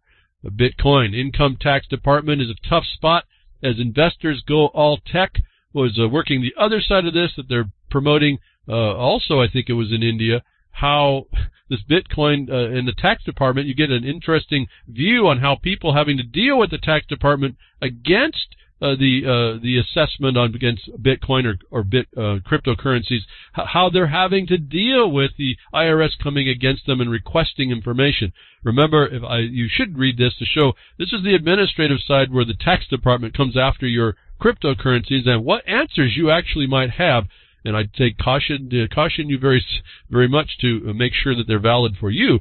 Uh, but look at what the people are already doing in India as the government the tax man comes after your cryptocurrency, uh, notwithstanding the fact that it, uh, your information can be hacked, even on places that they say is secure, even in military with the military information. Uh, this is again the flaw will be our acceptance of a flawed system, a flawed architecture. And we're looking at an architecture on a processor. I want you to move your mind back, take a step back, and look at the architecture of your destruction. Okay? Uh, this is all really, it's a fractal to me uh, somehow. It all, uh, it's right in front of us, the replicating, the replicating nature and uh, consistency that, which we are taken down by. Uh, again, The setup of the Bitcoin is for the taxman. The taxman's attacking people in India. They are having to come up with answers. You need to see what they're starting to have to come up with. Uh, they are. There's some other ones that are available in the United States, as I've told you already. But the fact is, they're coming at you. It's hacking your life because of your digital world. They're already doing it in India about this cryptocurrency. I'm saying that these flaws show you that you're vulnerable on the uh, hardware side, on the infrastructure side. Remember, the international imposition, they uh, look at bolstering their infrastructure. That doesn't mean they're building a bridge. It means they're probably building an inroad to destroy you or take control of you or have control of you. And there's more proof of this thing with this cryptocurrency. As I've told you, the uh, the governments are coming after for the so-called value. I've told you some problems with it. Those are the things you would respond with um, immediately on the administrative side before it gets into the courts. Uh, but I told you the governments are coming to start to do this, and uh, you'll be able to do this, but there's going to be constraints, and you're going to have to learn how to deal with that. And here's another example of what's happening within this. The China Central Bank prepares to regulate Bitcoin mining. And I found this very interesting. How high are they going to do that? Well, a lot long ago, Bitcoin sold, uh, was uh, was low, and then it soared up a, lot higher. And China's been looking at this. Remember, I told you they were the ones that were the told to commission to bring this in. Uh, I told you this quite a bit, uh, quite a bit ago. What China did is looked at it. So we're not going to stop the mining. What we're going to do is we're going to monitor. We're going to monitor the power of people, and when we see the power being used that's not consistent with the uh, with what we play, we think that is supposed to go on. Uh, we are going to start to limit the power of that place, and in effect, limiting the electricity to a place uh, will limit the ability for a Bitcoin miner to do his work. Now, they can also claim that it's also good for energy uh, carbon taxes, don't they? See, so this is all working for their favor to start with, but they don't attack you for doing it. They just start making it uh, more difficult uh, to uh, more expensive or not have the ability to make the uh, make the electricity to, to use the electricity is how they're going to do the mining. Now, this should, in your mind, say, okay, then we, we should be able to go off grid, if you will, have a and you got to be careful about this too, but develop your own power source, right? Uh, solar power may be the way that they do that. But uh, just to let you know, the Bitcoin miners are going to be under attack uh, with in, uh, with uh, in China, and it seemed to me not much different than how the cops were able to go after people that grew marijuana in the places that it's not not legalized. And remember, they legalized it, not decriminalized it. That should have been a clue. I told you all about that. But people, crickets, crickets everywhere. So the power is going to be the future, folks, and this is exactly what the China went right to it. They've been thinking ahead how they're going to go ahead and do that. Now, you'd say, well, how are they going to do that? Well, if everyone has a smart meter, I can tell you by your signature, your, your electronic signature, that you have computers running. In fact, that computer may have a certain way that it spits out a certain signal out of it.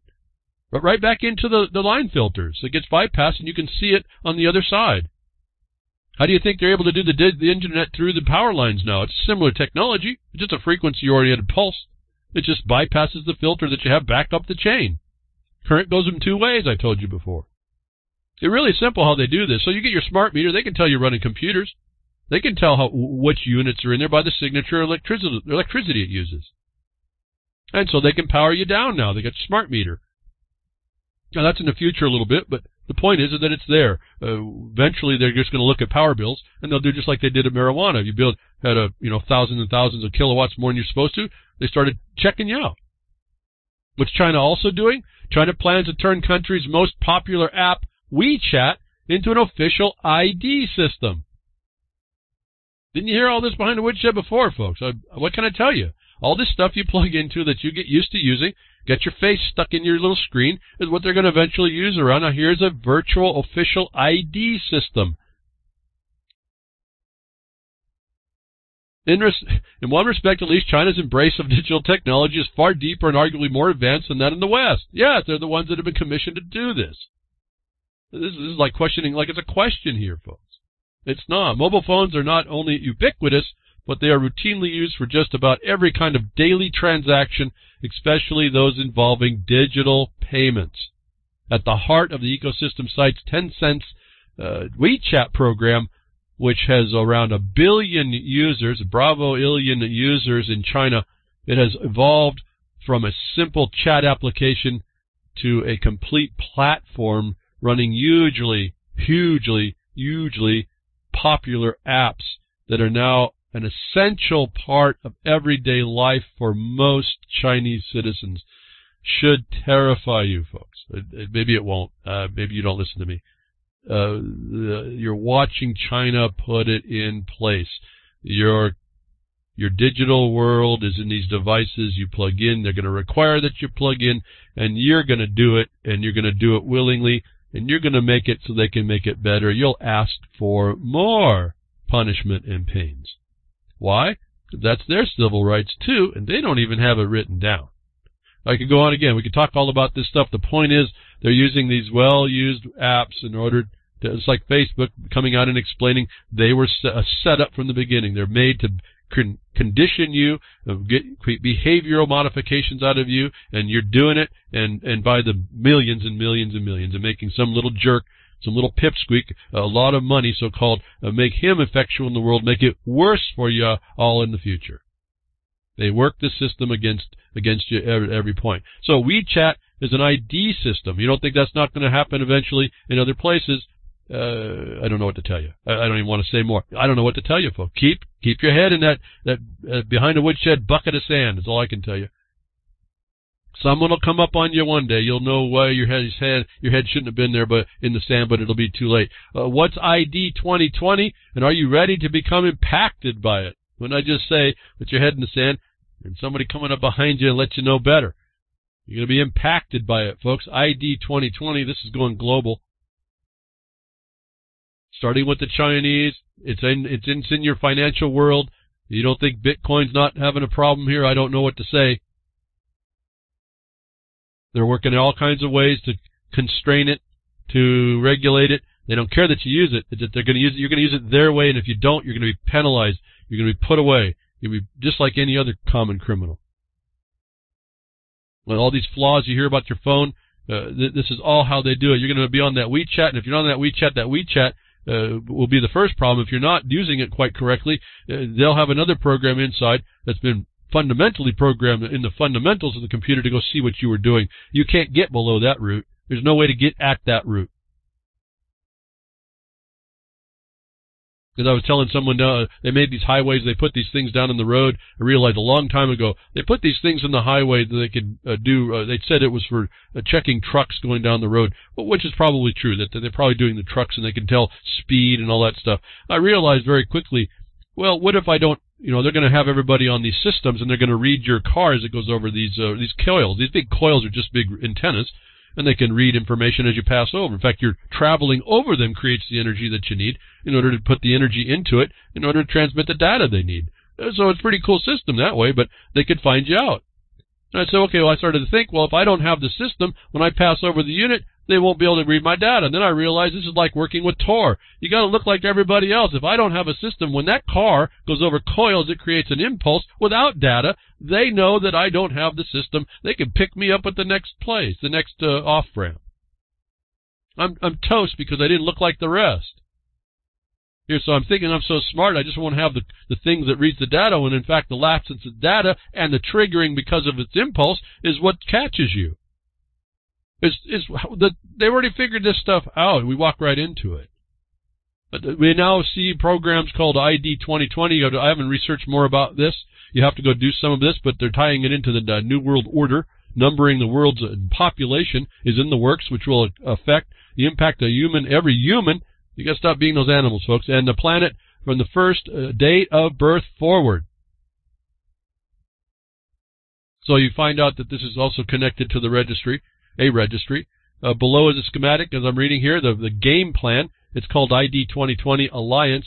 And you can look that up. You can you validate it or not, folks. I'm just telling you there's stuff here. I, don't, I haven't had a chance to validate it. I just want to point out what I see. It's all connected to this digital stuff, as we've been told it's coming.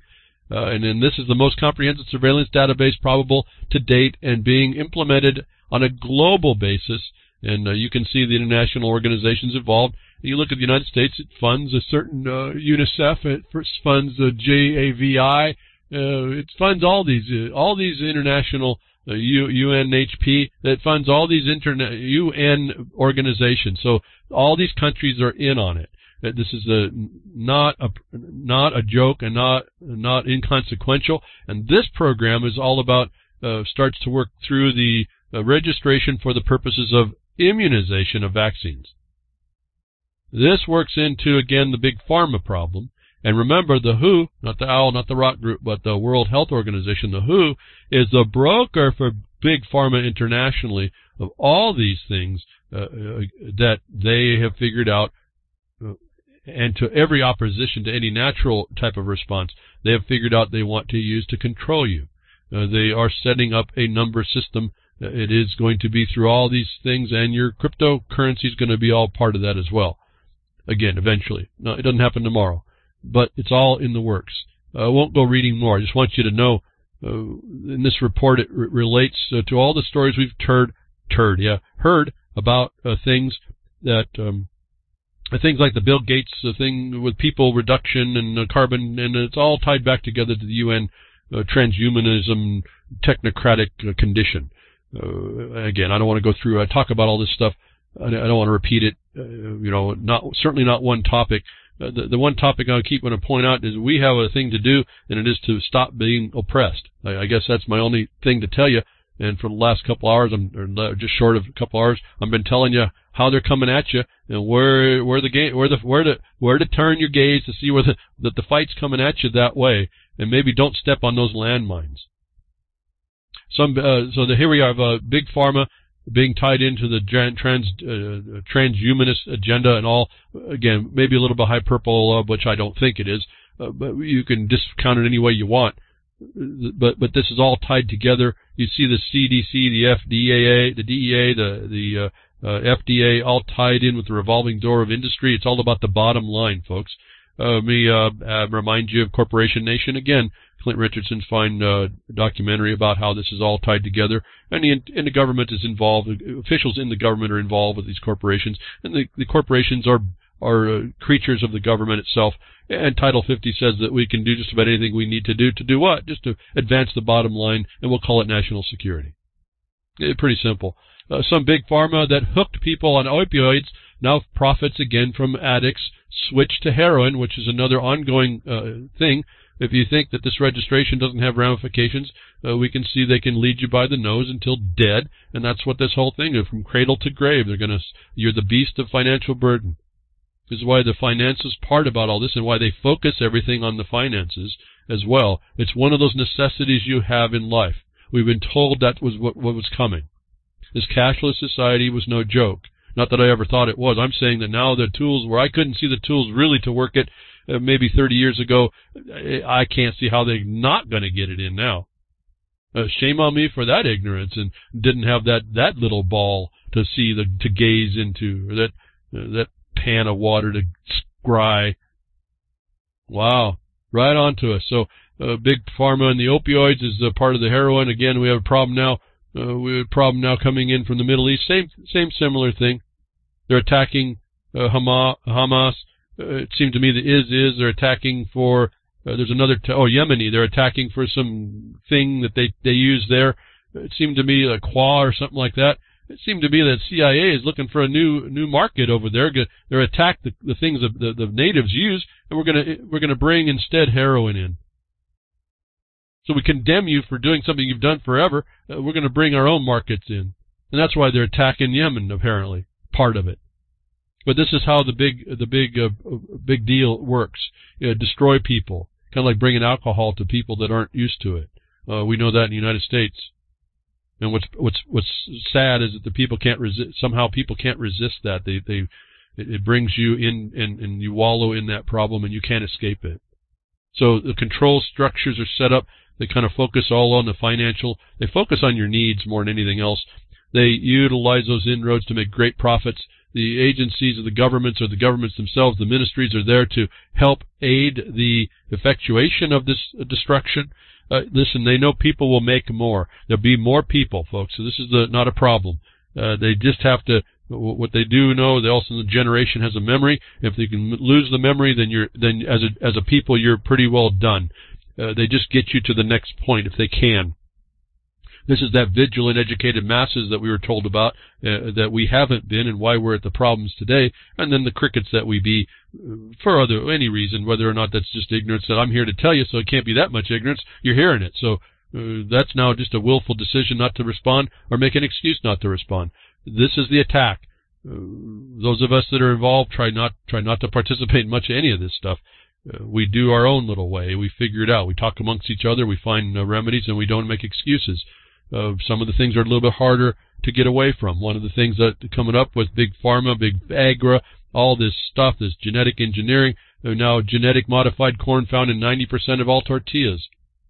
This is from Mexico. The the people there have no choice but be uh, eating a GMO corn in their tortillas, a food staple. What are you, what are you going to do about that, folks? I mean, I guess you could start growing your own corn or finding the corn that they uh, that they don't do GMO and start start grinding it up yourself if that's what you want to do. But you know, you know that's going to be like impossible. So I don't know what to say. Uh, you just watch people being taken down. We uh, we see we see what the GMO has evidence that it does to your gut bacteria. That affects your nutrition, how you respond. Your body. That's about uh, your. That's your life. Your gut bacteria, how your body digests uh, minerals, how it handles uh, excuse me, the the nutrients, how it handles that. That's your health. Uh, the point one. That's the foundation right there. You mess with that, you're messing with people, and they don't care that they're messing with people, and the agencies don't care. It's all about really the bottom line. It's what can we extract from these people. And we got them so busy that they don't know more to do. And all this comes down over time uh, you got processes that go down inside the system that people don't understand is going on. Uh, and I, I understand you turn your way, yourself away from it. It's the same thing. I was uh, crit- very critical of the DAPL, no DAPL thing. People weren't looking at the processes that are there and then complaining that they were being de- de- denied. And I'm saying, well, why don't you bring your evidence of the thing that you prove, unless it, what you're saying is a story. And a lot of it was a story because it was a setup. They were the stalking horse and didn't realize that. You don't have a clue about how this is all working against us. How are you going to fight something like this? Well, you start to look around and you start to find things, little clues. I don't know about Mexico and the tortillas. But it's no different here in the United States if you think you escape, folks. This is the thing of my main problem with the, any of this, uh, these main foods. You can't tell, you don't know. The government's coming out to say you can't, you're not going to know. That that should have been a clue. The right of free speech now taken to abuse because the government says it's okay. We can't. You don't. You don't have the evidence that you're being hurt and then they don't let the evidence in? Well, why? Why don't they let the evidence in? Is be probably because you don't engage it as I've been suggesting you can't. So what do you do when you see this stuff and where do you step in even though you don't have a proof? You start looking around and seeing things like this. There's a little story that I read and a little story that said a little report talking about and this is going to the United States and the FDA and how you address these agencies notwithstanding their um, they their decisions contrary to reality essentially and to promote the revolving door and or the bottom line uh, was a little statement that was made that I picked up on. It says that the FDA will never abide by the Pearson decision. The FDA will never abide by the Pearson decision. Well, I don't know anything about the Pearson decision. I don't even know what the FDA was never abiding by within the context. But I have the internet and I can go do some research. And this offered me another insight uh, of how you approach a problem that may even be a little dis- distant, but you can find within the process that's required of failures. And then even when you're found against, there's still a chance based on these other so-called precedents within the context of the administration function of how they're destroying your life that doesn't require that you become a criminal, doesn't require you go protest anywhere, doesn't require that you go sit in endless meetings. It just requires that you look at a subject matter that's supposed to be handled a certain way. Uh, you can get records from it. Uh, you can sit at your home, your computer. You can look and see what they're doing and then start testing it against what needs to be done. As I talk to you about all the time on the public lands, public domain nonsense uh, that we get we get shoved down our throats. And until we had a bunch of people start looking at it with the right words in their mouth, well, the Bundy stuff happened. See, that's the problem. You do it, you start doing it the way you thought you had to instead of seeing that it had there was a failed system already. and that that needed to be the underpinnings of that needed to be addressed. Well, so the FDA will never abide by the Pearson decision was an interesting uh, statement to me. Boy, that's a that's a slap in the face of uh, what a decision would be, isn't it? That an agency bureaucrat can do this. Well, they do, but that's because there's not a lot of pointed uh, attack. But the FDA is one of those uh, agencies that they're not going to follow this Pearson decision, whatever it is. It's also the ones that's agreeing to certain things that you've found are no good. Maybe this is why. So here's your in. My eyeballs say this is your in. Those of you that are interested, I really, I'm still disappointed about your DEA pot stuff. That I didn't get a letter from anybody or notice that, hey, I sent my notice into the DEA about that pot thing. It really fries me to see how many people enjoy uh, cannabis and then complain about the connect conditions and we'll argue about sessions and all this other nonsense about what's coming down about all that. And it's coming down like I told you would be coming down once Obama got got out, how this would be a shifting again. But the FDA will never abide by the Pearson decision? Really? Well, so what's this Pearson decision? I just went and got the internet, found a story from so, from an attorney that was discussing what this story about all is. I got I read up on it. I looked at the found the Pearson. It's a Pearson Shalala case. It's, it's a people, uh, a company that was uh, attacked, but essentially attacked by the FDA for not listing certain things on their label when they made so-called claims. Uh, the FDA made a decision. They wouldn't accept some of the information. They didn't do it quite right. If you look through that Pearson case, it explains this. The court explains what's supposed to happen to give you the bullet points you set up to find out how this how these agencies are supposed to work. Notwithstanding that the FDA will never, they say, follow the the the, the Pearson decision. And it says and shows you that even if the FDA made a wrong decision, and it did have to go to the Supreme Court, so you have to consider all that, but you might find somebody sympathetic, like an attorney like this other guy, who may bring it forward to you. It's just a matter of building your so-called network up, and you say, wait a minute now, okay, they may say they never, but in fact they can't, and they have, and so I have a cause, and I can go after that. And you can overturn these administrative uh, decisions on certain, for certain reasons, if you just set it out that way.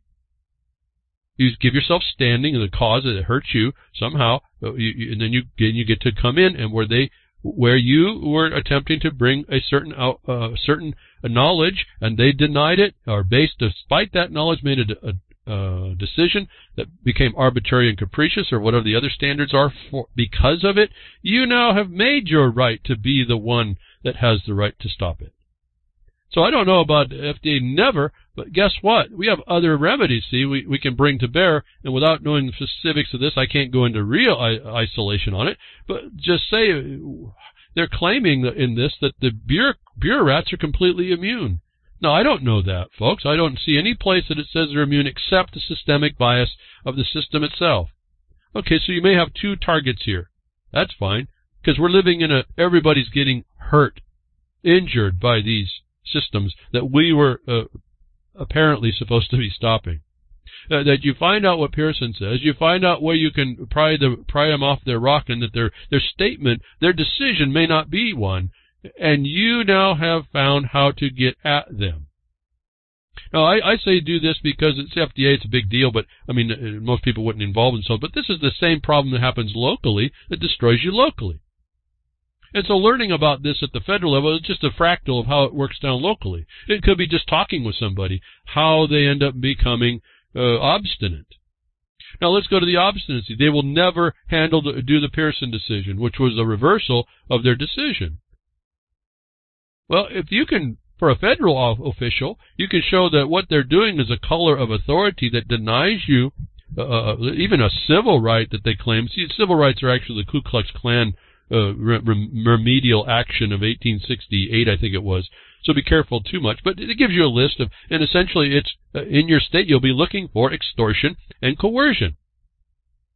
So you find your state law that the FDA wants to never impose Pearson and they'd make a decision to harm you. You bring against the official the fact of the extortion and coercion, and you hope, hopefully in your state it's a felony. The ones I've looked around, it's a felony, uh, both of them. Then you have the omission to do right. That's another two felonies. The omission to act in law and to use it as a color to harm you. The color of title to harm you. They don't have that right. That's essentially what you're looking at in the um, 20, uh, 18 USC 241, 242 statutes for all you patriots that read that and want to just cite it, but don't ever ever move move on it.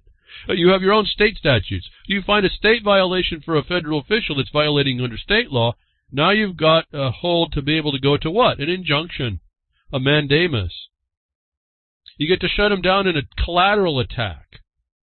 You don't go through the process that they have control over. You use that process to out them, to go after them collaterally. You want to talk about side channel attack? Yeah, folks, it's there for you. It all depends on how you frame this. To me, it's anymore. You want to do a side channel attack? Well, learn your writs. learn your, your remedies in the equity jurisdiction. Quit fighting it all. Will you make a? Will you win? I don't know. I mean, that's up to you. Some people do. Some people screw it up. I, I don't know what to say about that part. But if you do it correctly, you're making a record that they. Uh, it doesn't matter that they they say they're not going to be uh, listening. You sue someone and you put the teeth on them that they might go to jail uh, under a contempt charge. I think they're going to be thinking twice the second time, and they won't until someone does.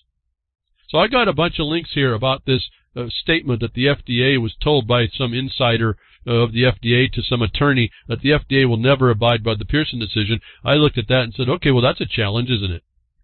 They have no right to not abide by that decision because it, it sits in the due process part, doesn't it? This is not something that they can change.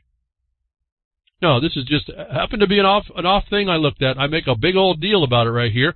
It means nothing to none of you. And I'm telling you, this is the, the seed of a knowledge right in here that you can look and then you turn that, what the requirements of that agency were. You can turn it in your own state. You can turn it inside your county. You can turn it some code enforcement officer. All the same things work all the same way. They have to have a basis for what they do.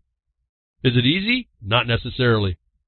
If you come at them right without uh, too much hyperbola, possibly you'll get them to start answering the, the making the right answers ahead of time so you don't have to. That's my that would be my my uh, my advice. And I have people I work with that do be- way better than I do about that. That that's how most of the stuff we get done now does.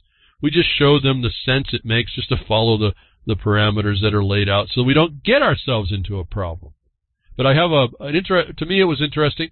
Uh, you can go through and read. The FDA was overthrown. It shows it's possible. It shows there's a standard. It shows their obstinance, more importantly. And this is what you're up against in every federal agency. Now, that shifted just a little bit with Trump getting in, but there's no, I'm not, that's not my signature uh, ratification of what's going on. It's still corrupt. And this is the problem. Again, when you see Trump uh, talking to the Iranian people, when I know that's a stalking horse, and you should know that's a stalking horse, and then it goes to the plan of overthrow of the government, then he's he's an executive uh, chief officer in a war against Iran. I can't trust what he says now. And none of us can trust all these people. I don't care how genius and stable they are. You better have your own stable genius, and it better be in, in residing in you. If you want any residency, it better be in you. You want no rulers? You go out, you go stick your head back in the sand. You need rulers. You need to be the first one. Well, I can hear all the people talking against that. Too. That's not what I mean. That's what's exactly what you mean if you think about it.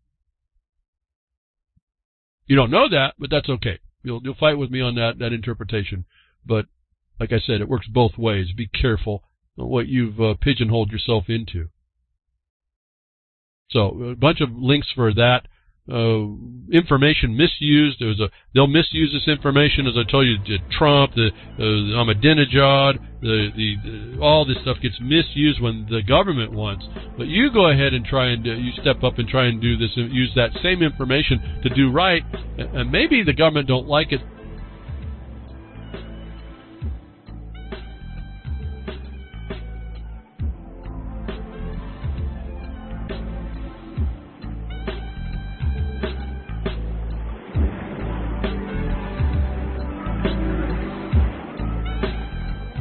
that's another lesson. I hope with today's information you can take it to those that misbehave. From behind the woodshed, leaving his mark on the beast, this is Hal Anthony. Till next time, journey with purpose.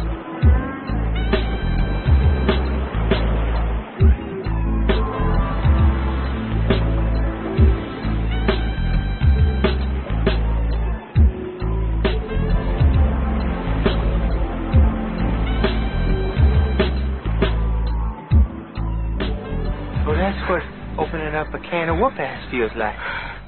Son, you just opened a whole case of ass.